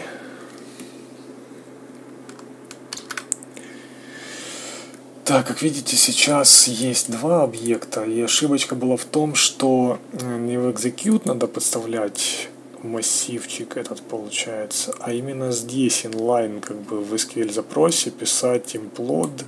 Конечно, это не очень безопасно, видимо, видимо, все это превращается в строку, и потом просто пишется, допустим, 5-6. Но так как у нас айдишники, и здесь мы уже как бы обезопасили вроде бы как себя, да, но можно еще, допустим, написать э, apps, типа такого, э, чтобы были хотя бы только положительные числа. Ну, как бы от флотов мы себя обезопасили тем, что int, от строки мы себя обезопасили тем, что int, соответственно, от э, нулевых и ну, минусовых значений обезопасили себя тем, что у нас apps. То есть абсолют это получается у нас integer float, integer float. Фу. Ну, короче, это только положительные числа будут. И, соответственно, попробуем сейчас работает. Да, отличненько. Все чудесненько. Э, в общем-то, код выполняется. То есть имплод нужно просто перенести вот таким вот образом здесь э, оставить одинарные кавычки. Короче, было вот так. Сейчас я покажу. Было вот так здесь был написан implode, и он не работал, потому что 5 и 6, они превращаются в строку э, с помощью вот этой вот встроенной PHP функции. А стало вот так. Э, то есть мы принудительно поставили здесь 5 и 6 как бы цифрами вроде бы, и они должны, по идее, выполняться. Э, если у вас что-то не получается, то тестите здесь. Получается, смотрите, у нас, э, если мы implode ставим в execute, то получается вот такая вот дичь. И, соответственно, нам возвращается только одно значение, хотя шестой айдишник тоже есть. А если мы implode ставим как сейчас, прямо в SQL запросе, то 5 и 6 это у нас integer, и они выполняются вот так. Соответственно, 5 и 6. То есть э, такая тема, такая тема, как здесь, э, сработает только с, ну, с цифровыми значениями, получается. В итоге у нас возвращается array. Опять же, здесь был object, а я написал array, потому что, естественно, выдает ошибку, потому что возвращается массивчик. И вот у нас есть дата, да? Вот у нас есть дата. Это получается у нас массив. Array пишем. массив данных, который вы видите на экране. Вот он. Теперь нам остается только лишь пробежаться по этому массивчику, выбрать нужные нам данные, сделать нужную нам логику и, соответственно, отправить каждому пользователю сообщение. Но так как у нас сейчас пользователь только один, по идее, мы же не будем регистрировать людей пачкой целой. Ну, как бы это моя такая логика, да. Я, допустим, регистрирую человека только один. Соответственно, только один email нам прилетает. Соответственно, в данной ситуации у нас будет здесь только один айдишник. И его можно даже написать так. Теперь, это как бы у нас новый пользователь. Новый пользователь. Мы ему только первое сообщение отсылаем. Сообщение с активацией его учетной записи email актив. И вот у нас такой будет, будет шаблончик для того, чтобы, ну, естественно, я пока его не менял с того момента, как он был в индекс PHP, я просто перенес сюда. Здесь у нас дата, дата, по идее, есть. Теперь у нас проверяем, здесь один айдишник, должен только пятый айдишник выбраться. Сюда, смотрите, получается логика какая. Мы обращаемся сначала ну, здесь в индекс PHP, мы обращаемся к классу mails. Класс mails идет в users класс э, к методу getUsersData. Здесь он э, выбирает по э, тому ID, который мы ему скормим определенный айдишник пользователя, либо несколько пользователей, возвращает нам массив данных, в любом случае всегда возвращает массив, а, но этот массив содержит в себе объект. Дальше, и, э, так как у нас мы 100% знаем, что сейчас у нас, допустим, идет первое письмо на один email адрес мы отправляем, то ну, условно, мы создали пользователя, у него айдишник вот такой. Выбери, пожалуйста, данные Э, его и отошли ему приветственное письмо. То есть сейчас сейчас mails у нас э, как видите, получается, после того, как мы выберем данные, у нас есть такая переменная, как дата. И мы инклюдим шаблон, вот этот, в котором, по идее, уже данные вот эти, э, данные вот эти должны быть. И сейчас мы должны их увидеть. Аллилуйя, вот они. И это получается у нас, ну, опять же, я уникализирую просто строку для того, чтобы проверить в этом ли файле, в этом ли файле.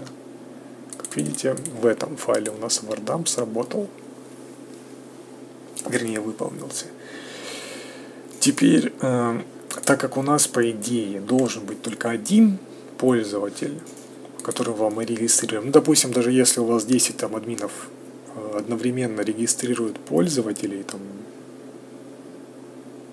то если они, допустим, сразу отправят 10 Э, как бы сохранение, нажмут кнопку сохранения, там вот запол, заполнятся данные, там, допустим, логин такой-то, email, пароль такой-то, пароль, там, допустим, подписка там на email сообщение, например, да, и они нажимают кнопку «Сохранить». И в этот момент происходит как раз э, отсылка сообщения пользователю о том, что он зарегистрирован. И вот в этот момент срабатывает вот это вот email актив. То есть, получается, нам нужно просто подтвердить свои, ну, свою почту. Почему? Потому что часто люди допускают ошибку, а потом, естественно, у них нет возможности никак взаимодействовать с нашим сайтом, потому что мы, допустим, отправляем на ошибочный email сообщение, а пользователь даже не знает, почему оно не пришло. Естественно, он э, как бы может либо написать в поддержку, там уже в зависимости от вашей логики, либо проверить свою э, правильность написания своей почты, и тогда уже какие-то действия там выполнить. В общем-то, сейчас я здесь ну, изменил шаблон э, и продолжим. Итак, друзья, получается, я создал очередной как бы этап нашего с вами развития, так скажем. А, смотрите, я немножко переделал email актив, соответственно, с того, что был в индекс PHP вот в этом. Э, здесь просто у нас идут, идут данные. Данные откуда приходят? Они приходят, во-первых, они есть. Подключается как бы все это в индекс PHP. Естественно, у вас там может быть где угодно. Я показываю ради примера. Никогда так не делайте, чтобы в индекс PHP у вас все это инклюдилось. Ну, в принципе, это можно, но очень осторожно. Так, include once получается у нас супер пупер TPL. Подключается шаблон для админки. А здесь также у нас есть такое, как подключение отправки сообщения. Mails у нас инклюдится вот этот шаблончик. Вот он сам шаблончик. Естественно, он был переделан под э, тот, который как бы первый для пользователя приходит. Здесь я оставил вам такую подсказочку, что у нас приходит с базы данных. У нас получается дата вот эта, которая у нас здесь. Здесь же, да? Нет, получается здесь у нас дата, а здесь она не нужна. Вот так. Таким вот образом. А, здесь мы просто, получается, этот класс инициализируем и как бы отправляем пользователю первое сообщение. Где вы это будете делать, это уже ваше дело. После, ну, моя логика это делается после того, как вы создали там все данные, заполнили о пользователе, его логин, email, пароль там и другие данные. Потом нажимаете кнопочку «Сохранить», и в этот момент пользователю прилетает сообщение о том, что он был зарегистрирован там где-то. И, соответственно, вот такой шаблончик у нас один. Ну, опять же, данные я уже рассказал, откуда такого типа у нас это array, но array это дальше идет объект, поэтому не стоит об этом забывать, в смысле об этом стоит помнить. Дата 0 обращаемся к нулевому элементу массива. Ну, тут, конечно же, можно проверить на то еще, э, не пришло ли нам э, больше данных, чем мы как бы заказывали. То есть, если есть там дата 1, то, опять же, нужна какая-то ошибка, но это уже на вашей стороне обработка. Я просто показываю для примера, как бы вроде бы как бы безопасненько все. Э, но более-менее простенько, чтобы, во-первых, большинство поняло, как это делать, а во-вторых, как бы занимать меньше времени, потому что все это, естественно, время и мое, и ваше. Имейл у нас, смотрите, имейл у нас приходит, э, ну, как бы мы, получается, зарегистрировали пользователя, эти данные отправились в базу с помощью вот этого вот скрипта, который я здесь создавал. Ну, как видите, вот этот вот, вы можете его посмотреть, там он находится в этом файлике, not used. Э, дальше Дальше что? Password. Вот password это надо обратить внимание, потому что если э, с помощью этого скрипта, то, ну, который я, которым я генерировал эти демо-данные, как бы, то password там приходит password хэш, и, соответственно, мы его никак не можем обратно вер, ну, вернуть, мы его только можем зашифровать, и все. А раз шифровать мы не можем. Поэтому позаботьтесь о том, чтобы пароль пароль вам приходил, вот я здесь сделал пометочку, чтобы вам пароль приходил прям, допустим, из HTML формы в RAW виде. То есть, если вы хотите посылать вашему пользователю пароль для того, чтобы он смог потом войти в свой личный кабинет, э, а не каким-то образом, допустим, ну, либо он сам регистрируется, да, и запоминает пароль, то есть, если вы хотите передавать пароль, его нужно передавать в RAW виде, то есть э, в исходном виде, который он приходил, а не в зашифрованном, естественно. Потому что в зашифрованном он будет вот таким вот образом вот виден. Э, естественно, он отличается от того, который был введен пользователем, потому что вряд ли кто-то ведет такой, ну, конечно, может, есть такие люди, но в основном там вводят какие-то те пароли, которые люди привыкли там, не знаю, там, собачка 98 или еще что-нибудь такое, или там день рождения с точками и тире там какие-нибудь. Вот, ну а здесь дальше CryptoLink, конечно же, здесь я допустил ошибочку, потому что CryptoLink должен использовать именно этот email, который здесь есть, и, соответственно, сейчас будет немного рефакторинга. Здесь у меня просто будет звездочка. Значит, поясню. У нас есть э, такая функция, как крип. То есть мы зашифровываем какие-то данные, которые ну, достаточно трудно расшифровать, если, если не сказать невозможно. Ну, в этом мире возможно все. Э, как бы они являются публичными, и так как они являются публичными, естественно, нам лучше их зашифровать, чтобы злоумышленники там или те люди, которые по своей там неопытности или еще чем-то пытаются ну, как бы испортить наш сайт. И мы зашифровываем email, unique ID, то есть какой-то уникальный ID, который прилетает, допустим, из нашей базы, либо э, как-то еще генерируется, то есть какая-то случайная строка, которая, допустим, есть в нашей базе уже. Это, опять же, сделано для примера, это первый отсылаемый email, то есть мы его можем, допустим, взять из базы, здесь он уже у нас есть, зашифрованный. Токен, допустим, это unsubscribe тут есть, мы его можем опять же зашифровать здесь криптолинк, что в принципе надо было сделать по сути. Но, но, но, но, но, пока что, пока что мне это не нужно. Или нужно? Ну, в общем, чуть-чуть дальше я поясню уже, потому что получается э, уровень трудностей этого проекта как бы все повышается, поэтому я делаю изначально легкое, а потом повышаю уровень трудности. И криптолинк, получается, нас зашифровывается email, какой-то уникальный ID и дата. Для чего это нужно? Для того, чтобы потом пользователь нажал на кнопочку вот здесь. Как видите, здесь э, не потрудилась ссылочка, потому что я поставил не свой, как бы, ну, получается, этой сайт.org, он не существует, либо же не существует это изображение на этом сайте. А до этого, получается, здесь была картинка пандица, если вы не заметили, это подгружалось с моей машины. Ну и как видите, здесь ссылка тоже регулируется, в смысле генерируется, и из настроек это все берется вот здесь, где-то. Вот, это я просто написал, да, свой как бы вымышленный сайт.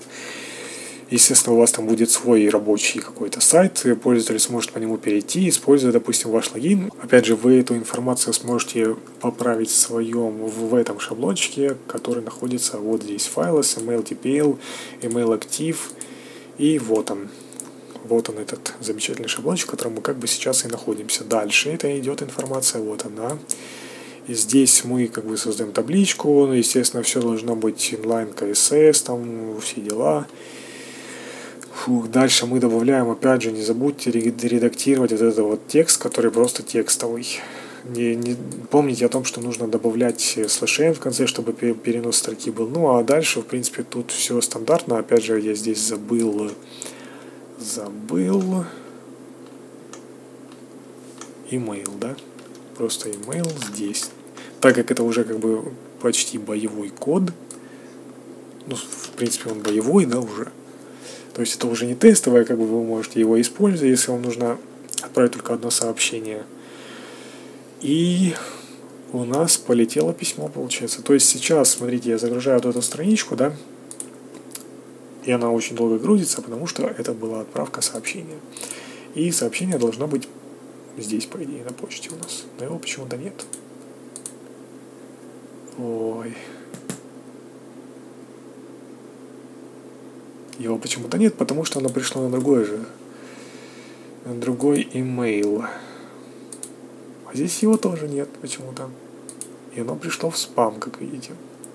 Ну, во-первых, наверное, потому что здесь, э, во-первых, здесь получается сайт.org идет ссылочка, да, естественно, Google, он понимает, что такого сайта не существует, поэтому, возможно, он отправил это все в спам. Но я тестил на разных... Э, получается, если вы уже на проде это все будете делать, соответственно, у вас тут будет э, настоящие данные, и, соответственно, как видите, вот, допустим, ссылочка «Отписался» не работает, может, он сходил по листу, он subscribe, прочитал заголовки, я не знаю, как он там это определяет, но это все попало в спам.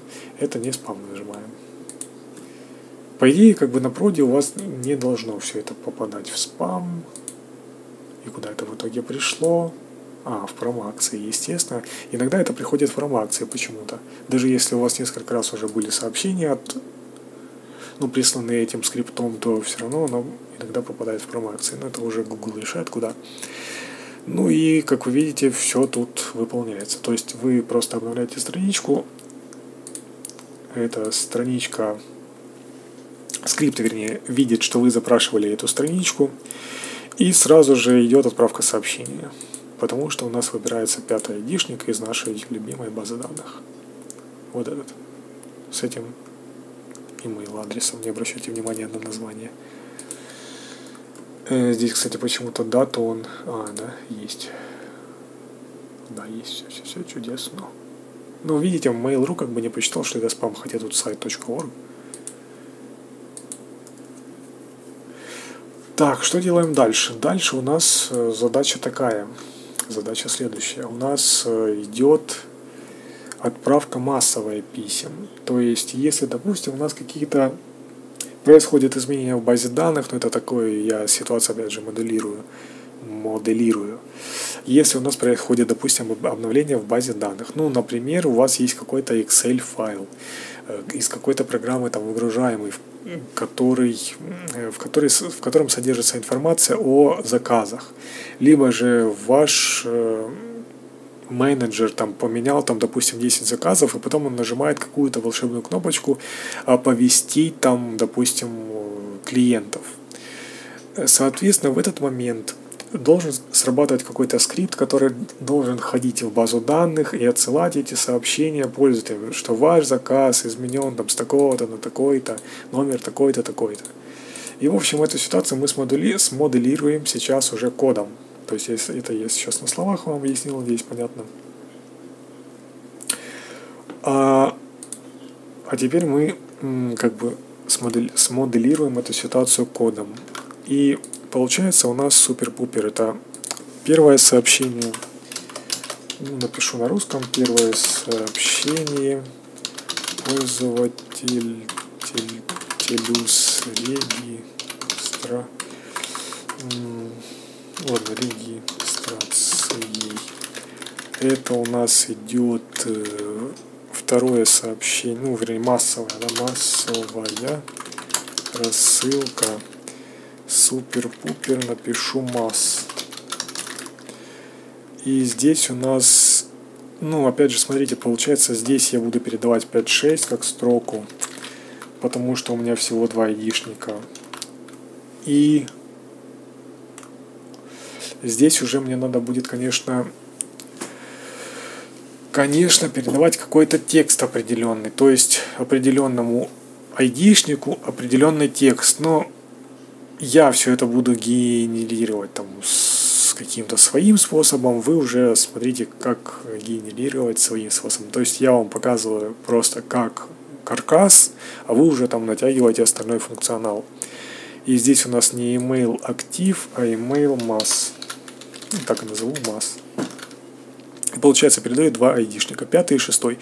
Э, допустим, в этих айдишниках, ну, теоретически, да, там в нашем теоретическом интернет-магазине происходят изменения, и, соответственно, соответственно, там можно, допустим, сделать так, что вы идете в базу там данных, смотрите, что было раньше, что стало сейчас, либо какую-то историю там смотрите в этих заказах, которые есть у этого пользователя. И, соответственно, уже там информацию могу какую-то прислать. И я пришлю совершенно левую информацию, которую только придумаю. Ну, в плане приближенной, естественно, к реальности, email масс. Это масс у нас будет. Э, здесь, опять же, email масс. Хотя ну, здесь, конечно, можно, допустим, добавить переменную и потом уже инклюдить определенный, определенный просто TPL, то есть шаблон. Но так как теоретически вы можете сюда, допустим, уже еще передавать не только э, айдишники, но и информацию сразу, да, в зависимости от того, какая у вас там логика будет. Поэтому я разнесу немножко на разные ситуации. И здесь у меня просто будет get users data, как бы как в предыдущем примере, но, естественно, может быть. Единственное, поменяется email mass здесь. Будет email mass. И здесь у меня будет вот так. Ну и Естественно, сейчас я поменяю здесь информацию для того, чтобы не тратить ваше время. И продолжим. Так, друзьяшечки, я допустил небольшую ошибочку. Изначально сообщение я настроил на то, чтобы как бы пользователь зарегистрирован. Э, эта табличка будет там сохранена, если что, допустим, вам не придется ее верстать. Но э, это же получается первое сообщение, я, получается, должен присылать его как бы... Ну да, и тему здесь надо поменять, но в принципе это уже на ваших, смотрите, э, получается первое сообщение это как бы проверка имейла. И вот как бы вот такая вот ссылочка должна ему приходить для проверочки сообщений, ну в смысле верификации email адреса. Ну вот такой вот вид она будет иметь. Э, что в ней я зашифровал? Значит, здесь я произвел небольшие изменения в актив этой в шаблоне активации, в общем-то, ну, кроме того, что здесь переписан текст, здесь также добавлено несколько ну, других данных. Во-первых, э, смотрите, получается, у нас сначала идет email зашифрован, потом уникальный какой-то ключ, но в принципе он его тоже можно взять из базы данных, токен activate email, либо же вообще не передавать. Ну, в принципе, можно его как, как нагрузку чисто передать. Дальше дата. И самое интересное, вот здесь вот у нас JSON появился. Как видите, он берется отсюда. То есть э, здесь я дополнительно проверил, есть ли дата из базы данных, прилетает ли нам. Потом э, проверочка ну, здесь как бы JSON, проверочка на JSON, нам нужны вот эти вот две штучки, сейчас я вам покажу, где они. Вот получается э, токен to unsubscribe. Здесь он зашифрованный с помощью crypt а. И токен Activate Email. Соответственно, тоже он здесь зашифрован. Ну, это все вы можете посмотреть здесь. Сейчас скопирую, найду по-быстренькому. Вот, вот так должно быть. Токен, password, password, password, decrypt, как бы здесь. Токен, ну, в общем, вот эти вот данные в итоге оказываются в базе данных, потом мы их выбираем, и они в зашифрованном виде к нам приходят. В базе данных они тоже хранятся, естественно, в зашифрованном виде, но так на всякий случай. Дальше мы проверили это. Теперь JSON у нас.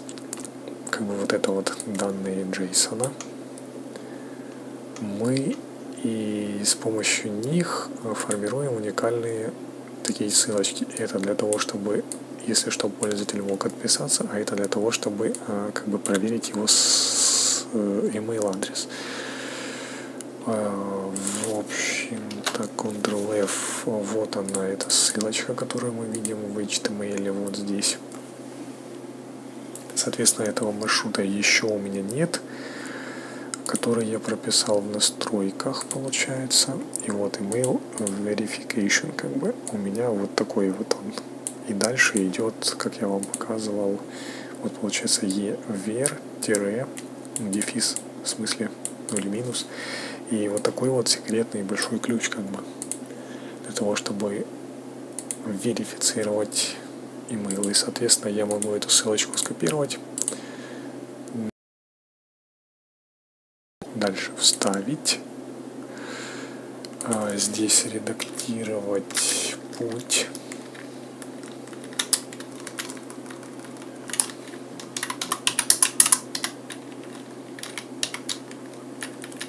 убрать, естественно, HTTPS.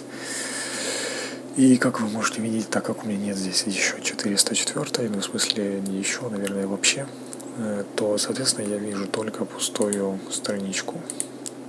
И email verification получается сейчас, в скором времени мы будем допиливать с вами, чтобы пользователь мог подтвердить свой email адрес и, соответственно, эти поля в базе данных могли отобразиться. Э, дальше у нас массовая рассылочка идет следующим образом. Я ее уже немножко переделал, значит это нам не надо. Масс email у нас получается вот он. Вот он этот метод. Опять же, мы получаем просто данные, ну я здесь получаю просто данные из базы. Здесь у нас может быть только один ну, как бы элемент массива вот здесь, в дате в этой. Соответственно, мы его передаем этому шаблону для активации одного только пользователя. Здесь у нас уже может быть массив данных. Соответственно, мы проходимся по этому массиву.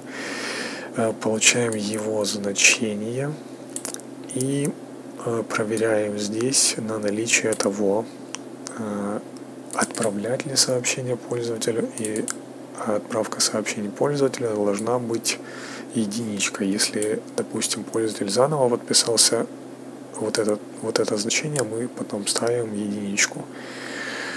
Ну, как бы, наверное, это я не буду реализовывать, это уже как бы просто так для того, чтобы вы могли дальнейш, в дальнейшем э, развить немного логику. То есть, соответственно, смотрите, если я перехожу по ссылочке «Отписаться» здесь,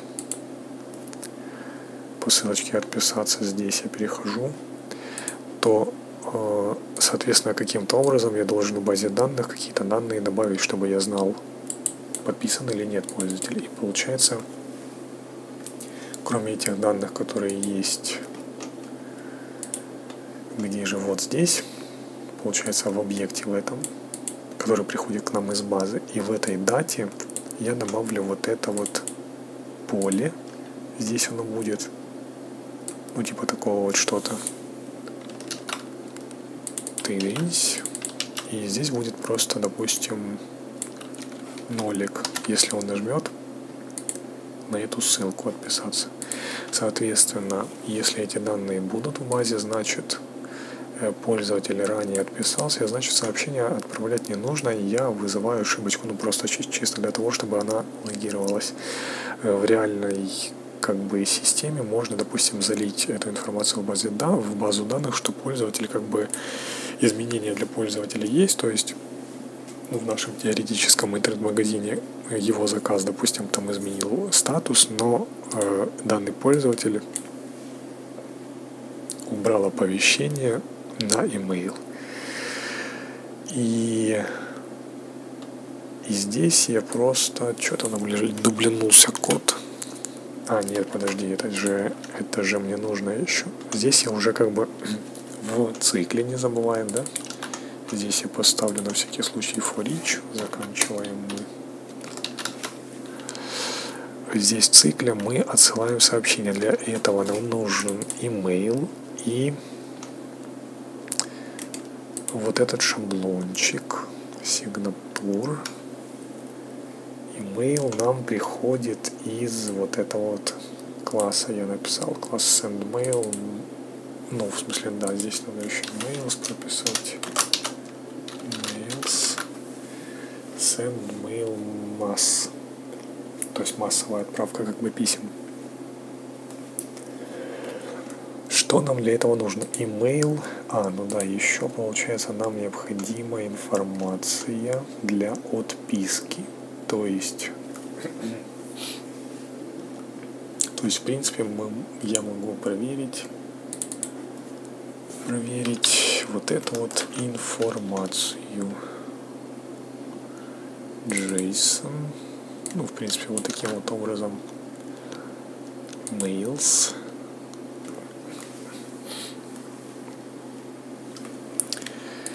Если э, эта информация отсутствует, здесь смотрите, вот каким образом я э, логирую как бы ошибки и пишу здесь вообще какую-то рандомную строку, лишь бы она отличалась от всех. Почему? Для, для, для чего это нужно? Для того, чтобы... Кстати, а что здесь?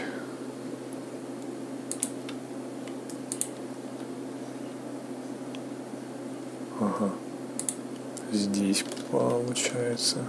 Или где? Здесь здесь ошибочка по идее так надо.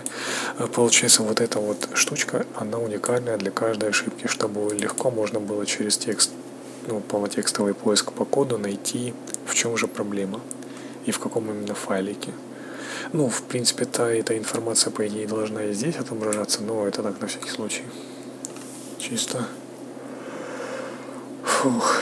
Так, значит здесь у нас э, JSON уже есть, поэтому мы токен email activate сюда засовываем и токен to unsubscribe. Ну, в принципе, так и назовем эти переменные, чтобы в дальнейшем не было никакой путаницы и они были легко читаемы.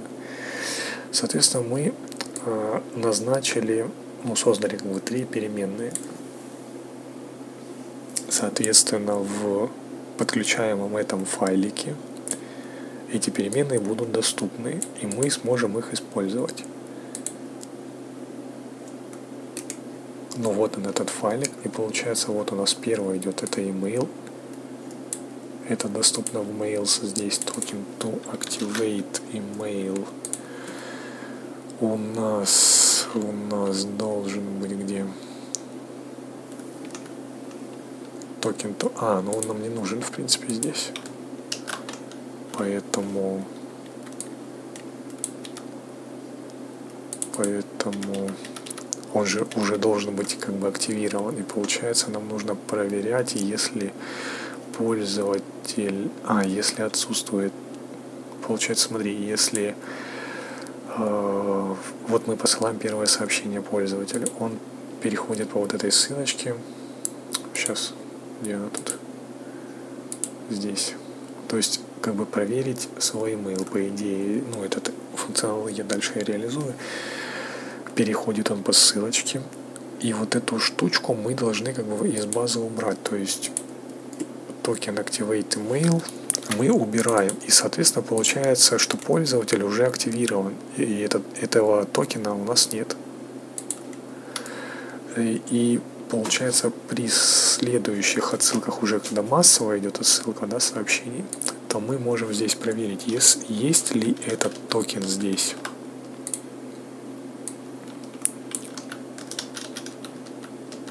Получается, если этот токен есть,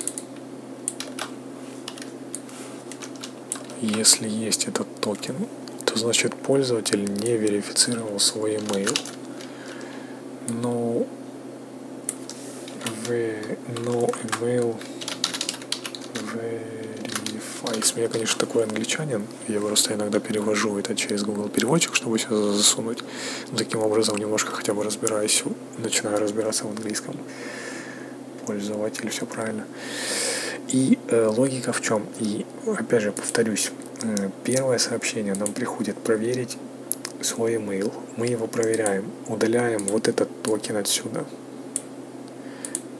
дальше, если массовая рассылка, то есть изменение заказов, как в нашем виртуальном магазине происходит, э, то мы проверяем, если э, токен Activate Email существует, то значит мы пользователю не отсылаем сообщение, потому что он еще не подтвердил свой email, но и, ну и, соответственно, выбрасываем exception, э, в который потом, может быть, будет где-то логироваться.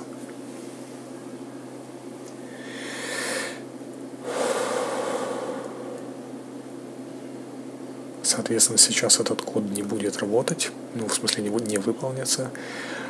И э, мне необходимо сейчас допилить функционал э, именно активации с, э, ну, активации с email адреса.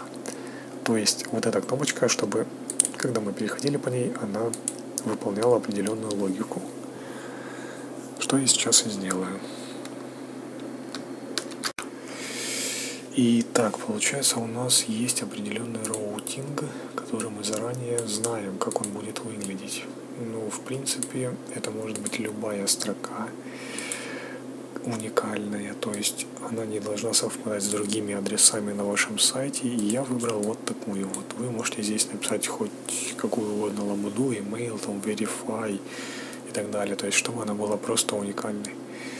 Соответственно, дальше мы можем э, отследить, если в запрашиваемом адресе есть совпадение, кстати, здесь можно без регистра сделать, есть совпадение с нашими настройками, то есть именно настройками вот этими, да, то есть проверка getOther настройки у нас и email verify ссылочка должна быть.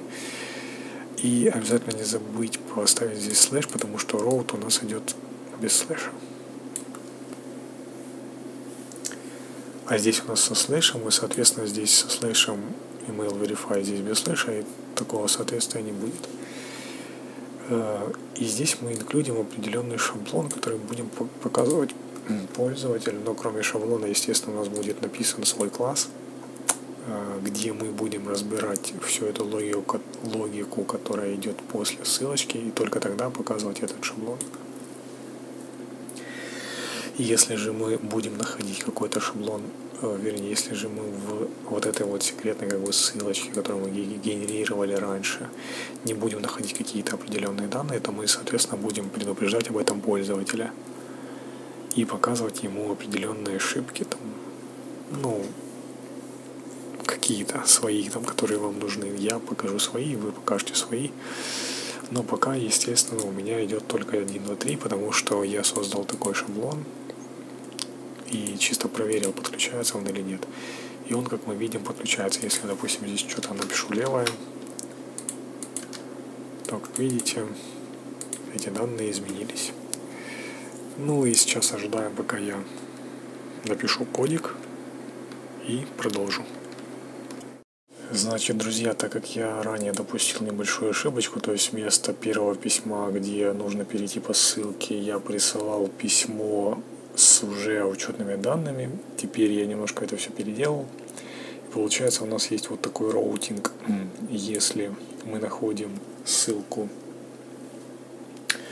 а, которая у нас записана в настройках как email verify, то есть в настройки заходим, смотрим email verify, то есть мы находим вот это вот совпадение. То есть пользователь перешел на ваш сайт, HTTP, там, допустим, вот такая ссылочка, а потом секретный ключ, как вы помните, то мы ему показываем определенный, естественно, шаблон. Но э, прежде мы, естественно, все должны проверить, и поэтому есть такой метод у нас в Mailers, в Mailsах, как email verify. Если мы к нему перейдем, то будет вот такой вот кодик. Э, здесь я подробно все описал, и получается вот у нас есть road with slash, то есть получается у нас slash идет, потом EVER, ну как я указал в настройках, а потом секретный этот ключ, который для каждого пользователя генерируется свой. И дальше мы уже в зависимости от того, что в этом роуте находится, действуем. То есть изначально я проверяю, есть ли вот этот вот EVER в роуте вообще. Как видите, здесь я его сохранил, потому что я его буду вызывать несколько раз. И вот это вот у нас EVER получается. По идее, как бы эта штучка должна быть здесь, потому что иначе бы вот эта вот логика не пустила нас сюда. Но на всякий случай я здесь это проверил. Далее, как видите, здесь у меня идет замена, собственно, сама, и после следующий шаг э, декодируем данные. Данные мы декодируем с помощью нашей функции decrypt. А, потом мы создаем из этих данных массив, то есть если у нас есть звездочка в декодированных данных, как видите, здесь я оставил их, то есть идет, получается, сначала email, потом звездочка, потом вот этот, ну, ник ID, случайно сгенерированная строка, которая нам не нужна, но просто мы ее сюда вставили ради того, чтобы она была, чтобы сделать небольшую нагрузочку. Дальше мы э, дату ставим и из базы данных токен Activate Email берем. Так, и это у нас все было, делалось где? Там, где мы отсылали сообщение. Вот оно где. Я здесь указал. Теперь я это свернул. Получается, у нас есть массив. Как бы в нем должно быть по-любому 4, 4 элемента. То есть, ну, как видите, здесь 4, да? То есть вот 0, 0, 1, 2, 3, это всего 4 получается. Каунт у нас считает не с 0, а с единицы, соответственно, и должно быть 4. Если не 4, то мы пишем пользователю, что у нас системная ошибка. То есть, то есть, то есть. Э, допустим, я сделаю сейчас onset, onset, тынь, тынь, тынь, допустим, второго элемента. И по идее сейчас должна вывалиться эта ошибочка. Как видите, сейчас у меня route, то есть вот из этого письма я перешел по этой ссылочке, но я ее скопировал, изменил адрес на 127.001, потому что меня сейчас здесь сайт org. Дальше перешел просто по ней. И, как видите, у нас вываливается вот такое сообщение, что у нас системная ошибка. Кстати, вот эту вот штучку, как видите, есть у меня теперь новый метод такой set hotmail. я сделал в helpersах э, вот такой вот вот такой вот метод. А его можно было даже вот так. Где-то, где-то, где-то, где-то. Да, можно даже вот так к нему обращаться без создания нового класса. И он даже будет работать. Еще раз сохранил, проверю. Да, как видите, все нормально. Соответственно, если у нас будет перехват ошибок, то эти все ошибки будут логи ну, логироваться каким-то там нашим логером где-то. Ну, теоретически, о чем я уже говорил, я сниму видео следующее здесь тоже. Вы можете нажать Ctrl-R, но у меня сейчас не получится нажать Ctrl-R, потому что у меня идет запись Simple Screen Recorder, а он именно на Ctrl-R реагирует, поэтому мне придется вручную сейчас заменить. Небольшой рефакторинг. В общем, я думаю, вам смысл понятен, для чего нужен этот метод. Он, получается, дает пользователю определенный, ну, HTML. Э, то есть мы передаем в него HTML, и show message это у нас получается, если true стоит, то э, чтобы не писать каждый раз, обратитесь к вашему менеджеру там, или позвоните в нашу поддержку по такому-то номеру. Мы просто, я просто здесь, здесь сделал статику вот такую. И, соответственно, если я добавляю true, то просто ввожу это сообщение титул, соответственно, вы можете там вывести свой титул, типа ошибка, там берегись, уходи отсюда и там подобное. Ну, соответственно, здесь есть, смотрите, в чем прикол есть те ошибки, которые мы можем показывать пользователю, типа вот, например, смотрите, получается та ошибка, которую мы можем показывать пользователю. Э, получается вот эхо, ну то есть он мне отдает уже сгенерированный HTML. Э, и вот здесь у меня идет ошибка, как бы, которая показывается пользователю. Ошибка, ссылка устарела. А есть э, те ошибки, которые мы не должны объявлять пользователю, потому что теоретически это может быть какой-нибудь э, человек, который злонамерен к нашему сайту. Соответственно, мы не должны ему э, сообщать какие-то наши системные э, данные, а просто, допустим, показываем какой-то случайный сгенерированный, опять же, уникальный для каждой ошибки код ошибки, чтобы, если что, он мог обратиться к менеджеру и сказать, вот у меня такой код ошибки, вот что мне делать? И, соответственно, здесь все, ну, как бы вот эта штука, по идее, логируется в нашей системе, и мы можем, будучи менеджером, например, зайти и посмотреть, э, что вводил пользователь, какие данные, ну, теоретически, да, и все остальное, чтобы понять, что происходит. Как видите, вот это мы протестили. То есть ошибочка получается, получается, выводится пользователь. Вот. И как видите, получается вот здесь именно вот этот уникальный код,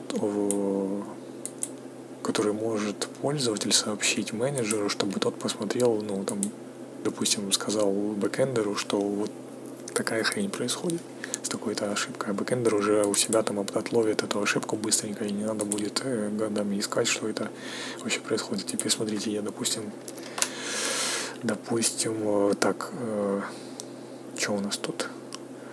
аккаунт мы посчитали, если не 4, то тогда выбрасываем ошибку и дальше я наполняю данными вот эти переменные. По идее, как бы, если каунтер 4, то, соответственно, вот эти все ну, элементы массива, второй, ну и как бы четвертый, который здесь третий, они должны существовать. И ну, а теоретически они могут быть пустыми. То есть, если, допустим, кто-то взломает наш шифр и либо же ну, подставит туда какие-то свои данные, но, допустим, они будут в итоге пустыми. Ну, на всякий случай, в общем, идет проверка на то, что это все что-нибудь здесь допусто. И получается, вот мы получаем следующую ошибку 3, здесь в конце было 2. Так, и вот я написал just for the test, то есть только ради теста. И теперь, если, если я, конечно, сейчас обновлю, то уже дальше будет логика работать и все, в смысле выполняться и все тогда. Э, ну, короче, в общем, слушайте дальше. Получается, вот мы проверили на пустоту, теперь мягко проверим email, то есть это встроенная функция PHP, она, конечно, криво очень косо проверяет, но, тем не менее, вы можете посмотреть э, мои предыдущие видео, где я рассказываю, как можно жестко, глубоко проверять email адреса с помощью PHP. Дальше мы сходим в базу и узнаем данные об этом пользователе, если он есть.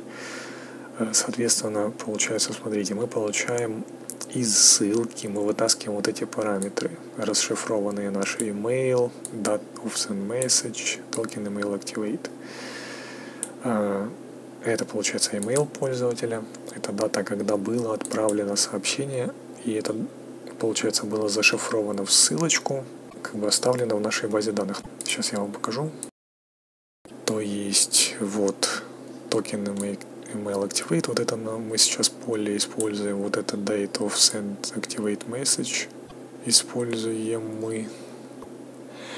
А, в принципе, смотрите, у нас здесь есть несколько вариантов. Либо проверить, совпадают ли эти даты, либо же просто проверить текущее время и э, сейчас где-то вот проверим дату.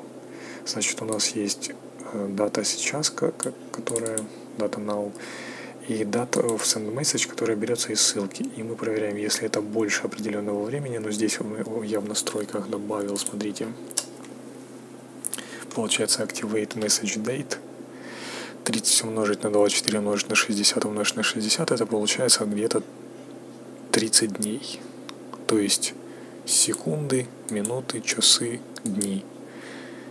И таким образом получаем вот такое вот число. И если получается здесь у нас в логике, если дата сейчас минус это число больше, минус э, date of send message, то есть мы когда-то отправили это сообщение, если больше 30 дней, то тогда мы вываливаем эту ошибочку. Вот, и ссылка устарела, обратитесь к менеджеру, как видите, show manager true. Дальше, если все хорошо, что нам делать? Если вы помните, ранее я говорил, что мы просто из базы уберем вот эту вот штуку в JSON, токен Activate Email. Ну, можно также вот это тоже убрать. Делается это следующим образом, просто через запятую. Через запятую, доллар, точка, вот так. Получается, эти два параметра, если мы убираем, то значит пользователь активирован. Кстати, где-то здесь должна быть проверочка, что э, если есть этот параметр, то значит, а вот, получается, если есть этот параметр, то значит ваша учетная запись уже активирована, как я вам говорил ранее. Так, теперь, если все хорошо, э, мы выбираем настройки сайта для того, чтобы узнать вот эту колоночку. Ну, в принципе, это можно в каком-то методе взаимодействия с базой реализовать, чтобы каждый раз это не дергать, но в принципе, меня так все устраивает. У меня не слишком большой проект был, чтобы все это еще писать или использовать какой-то там, ну, что-то, короче, ORM какой-нибудь. В общем, обновим базу.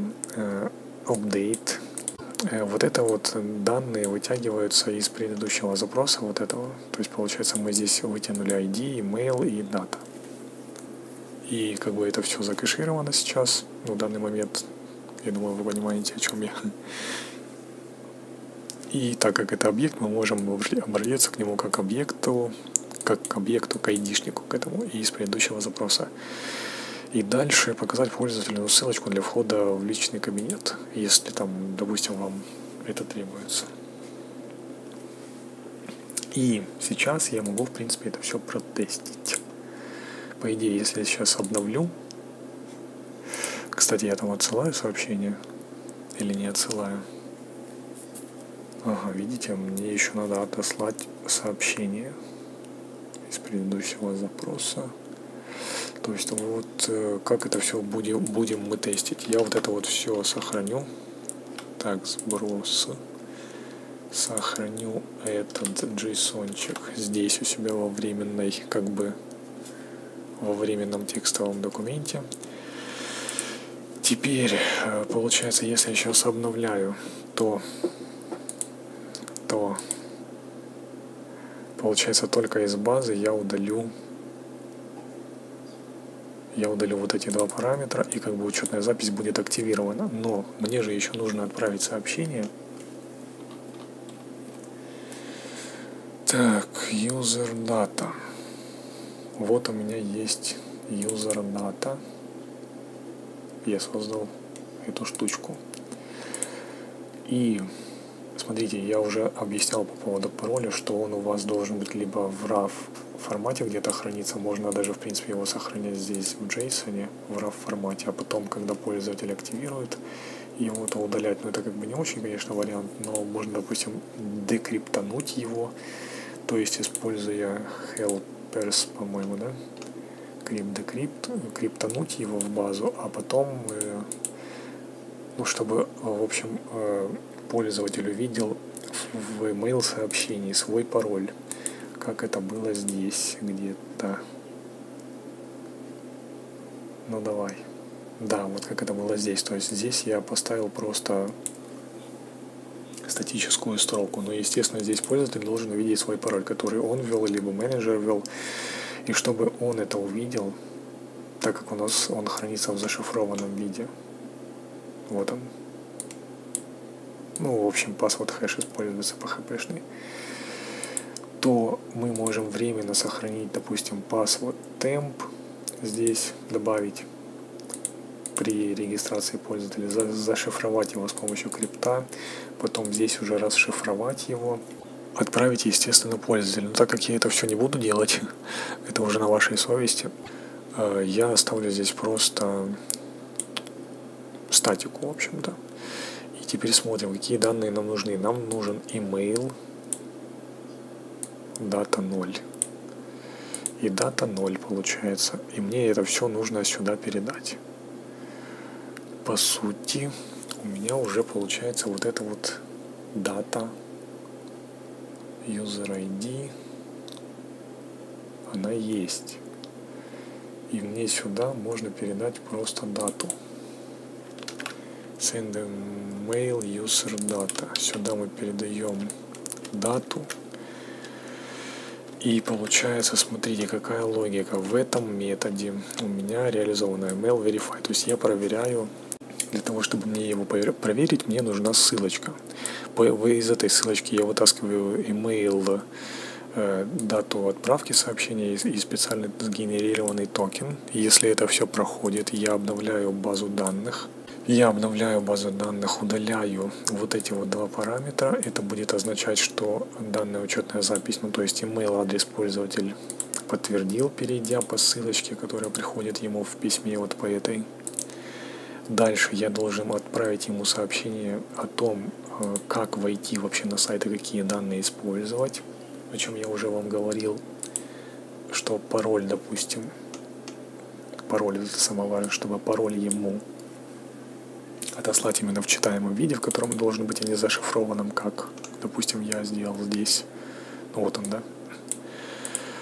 То теперь мне нужно просто сюда передать дату. И, соответственно, тогда пользователь, по идее, должен увидеть это письмо, которое ему придет. Так как верстку я уже здесь все сделал, соответственно, мне просто нужно будет э, подключить этот sendmail user data.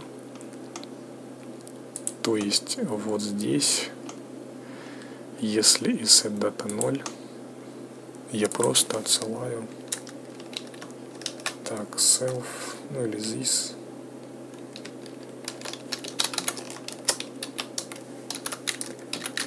Я сюда передаю прям дату.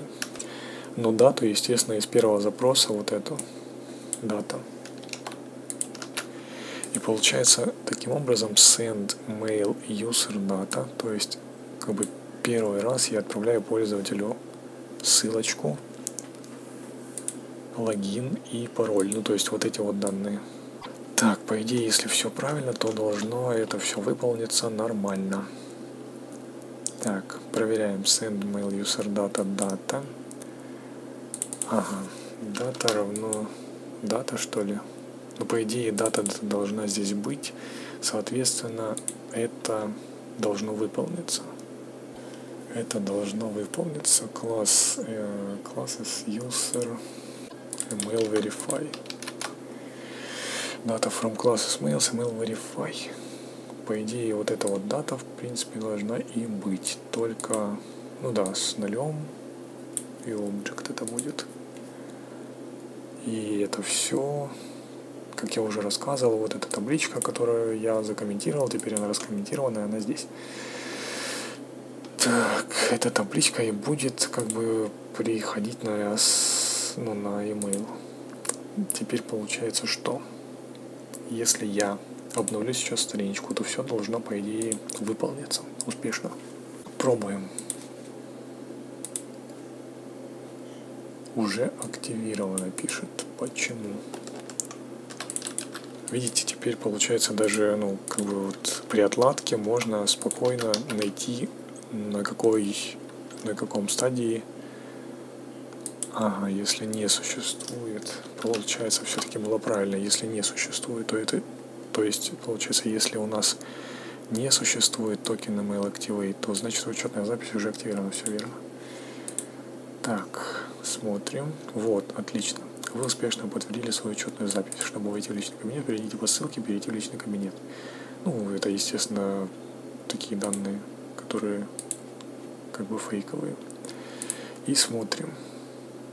Что у нас вообще пришло? 20, 10, 19, 01, 37. Немножко не то время. Значит, может это? Что тут у нас пишут? Нет, сообщение почему-то не было отправлено, и сейчас я буду выяснять почему. Э, Все-таки сообщение пришло, и оно даже пришло не в спам, так как я ранее его пометил, но и в принципе, по идее, на проне у вас они, они, ну, оно не должно приходить в спам.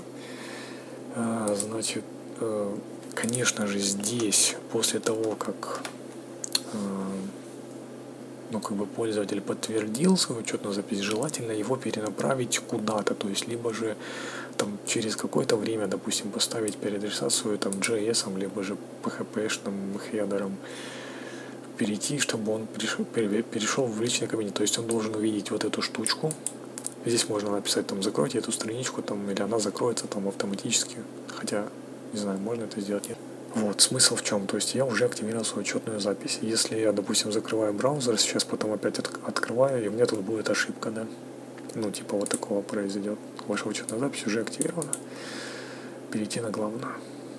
Ну, соответственно, на главной там у вас тоже должен быть, наверное, URL для входа в личный кабинет.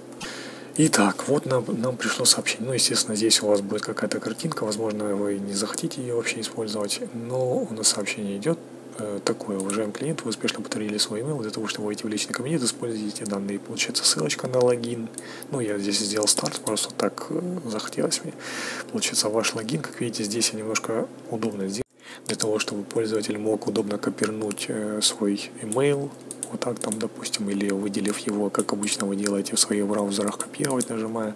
И здесь очень важное замечание. Смотрите, получается, здесь есть диалотстопы внутренние, довольно большие, чтобы пользователь на всякий случай не взял вот так вот провел, скопировал, да, потом вставил, допустим, и естественно оно и скопировалось с двоеточием и пробелом, вернее переносом строки двойным причем. Поэтому, соответственно, здесь сделан вот такой вот большой. Ну и так как эта штучка теперь у нас успешно выполнилась, посмотрим в базочку, что тут у нас изменилось. Как видите, у нас э, нет вот этого. Э, короче, вот этой штуки и этой штуки. Должен придумать, как она называется. Зато есть паспорт, как видите. Если есть совпадение, то эта штука подсвечивается и токен to unsubscribe. Получается, что еще нам нужно реализовать э, отписку. То есть, если пользователь приходит по вот этой ссылочке отписаться, допустим, то что он должен увидеть? Во-первых, опять же, э, мы должны, ну, как бы, по сути, продублировать этот же метод, но здесь уже будут не, не, некоторые другие проверочки, то есть, во-первых, не будет проверки по дате, то есть он в любое может время зайти, допустим, и отписаться. Либо же вы можете сделать, опять же, такую же проверку по дате, но я, допустим, не хочу, чтобы была проверка по дате. Хотя, с другой стороны, это вроде бы как бы и нужно. То есть, если я нажимаю, допустим, отписаться в каком-то письме, которое мне год назад пришло, то, по идее, я отпишусь. Ну, вдруг такое будет, например. А затем здесь не будет, естественно, проверки токена Activate Email, будет только проверка токена для, ну, вот этого для отписки to unsubscribe. И э, в случае, если все проверочки у нас успешно проходят, то мы убираем вот этот токен. Если его нет, то пользователь, соответственно, отписан. Если он снова захочет подписаться, то, соответственно, уже там вам придется его заново сгенерировать, просто и поместить в базу. И все. И так, друзья, получается, что если пользователь нажимает на кнопочку «Отписаться», то, естественно, он должен попадать на какую-то страничку, которая ему будет э, сообщать определенные данные. То есть успешно он подписался, произошла какая-то ошибка или еще что-то. Ну, в общем-то, у меня уже эта ссылочка переделана. Как видели, там сайт.org я переделал на 127.001. И сейчас я перейду по ней. А, так как ранее я уже на ней нажимал, у меня сейчас э, такая ошибочка получается, ну просто предупреждение, что я уже отписан.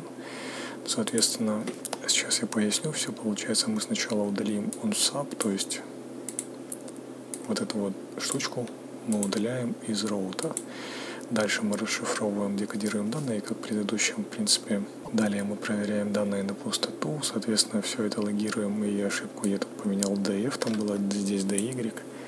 Дальше мы мягко проверяем валидность email, то есть, э, собственно, средствами PHP, поэтому мягко сходим в базу данных, узнаем об этом пользователе данные, то есть, если он ранее, допустим, уже был отписан, Э, либо же токены не равны, либо же больше одного имейла такого есть в базе, в базе данных. То есть мы не, не будем знать, какой из них пользователь. Ну, вдруг такая ошибка будет, да. Э, и, соответственно, если все выполнено успешно, то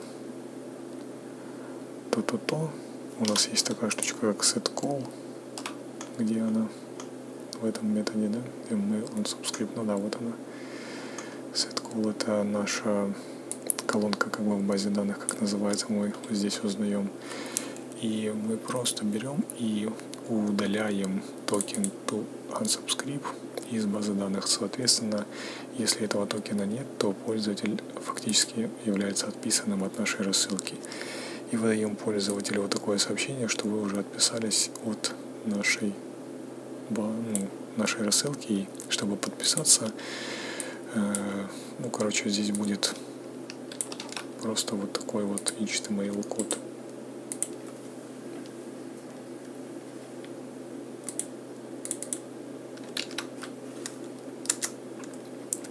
А этого не будет.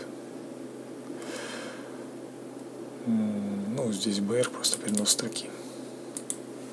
Ну и хотел бы еще добавить, что весь кодек я прикреплю на своем сайтике выложу, вы там уже скачайте, если вам потребуется. Значит, базу данных э, вам нужно будет помнить о том, что в настройках, то есть в настроечном этом файлике нужно будет заменить вот эти все данные, естественно, я их удалю. Также базу данных вы создаете свое имя пользователя, пароль и название базы данных. Далее через PHP MyAdmin или как вы там будете заливать в базу данных данные, то есть вы переходите в свою базу данных, здесь у вас есть кнопочка импорт, если через PHP MyAdmin выбираете choose файл, и вот этот тест мейлер вы должны залить, чтобы, соответственно, у вас эта база просто появилась здесь. Ну, а так, в принципе, все. Благодарю за внимание. Счастливенько. Thank you.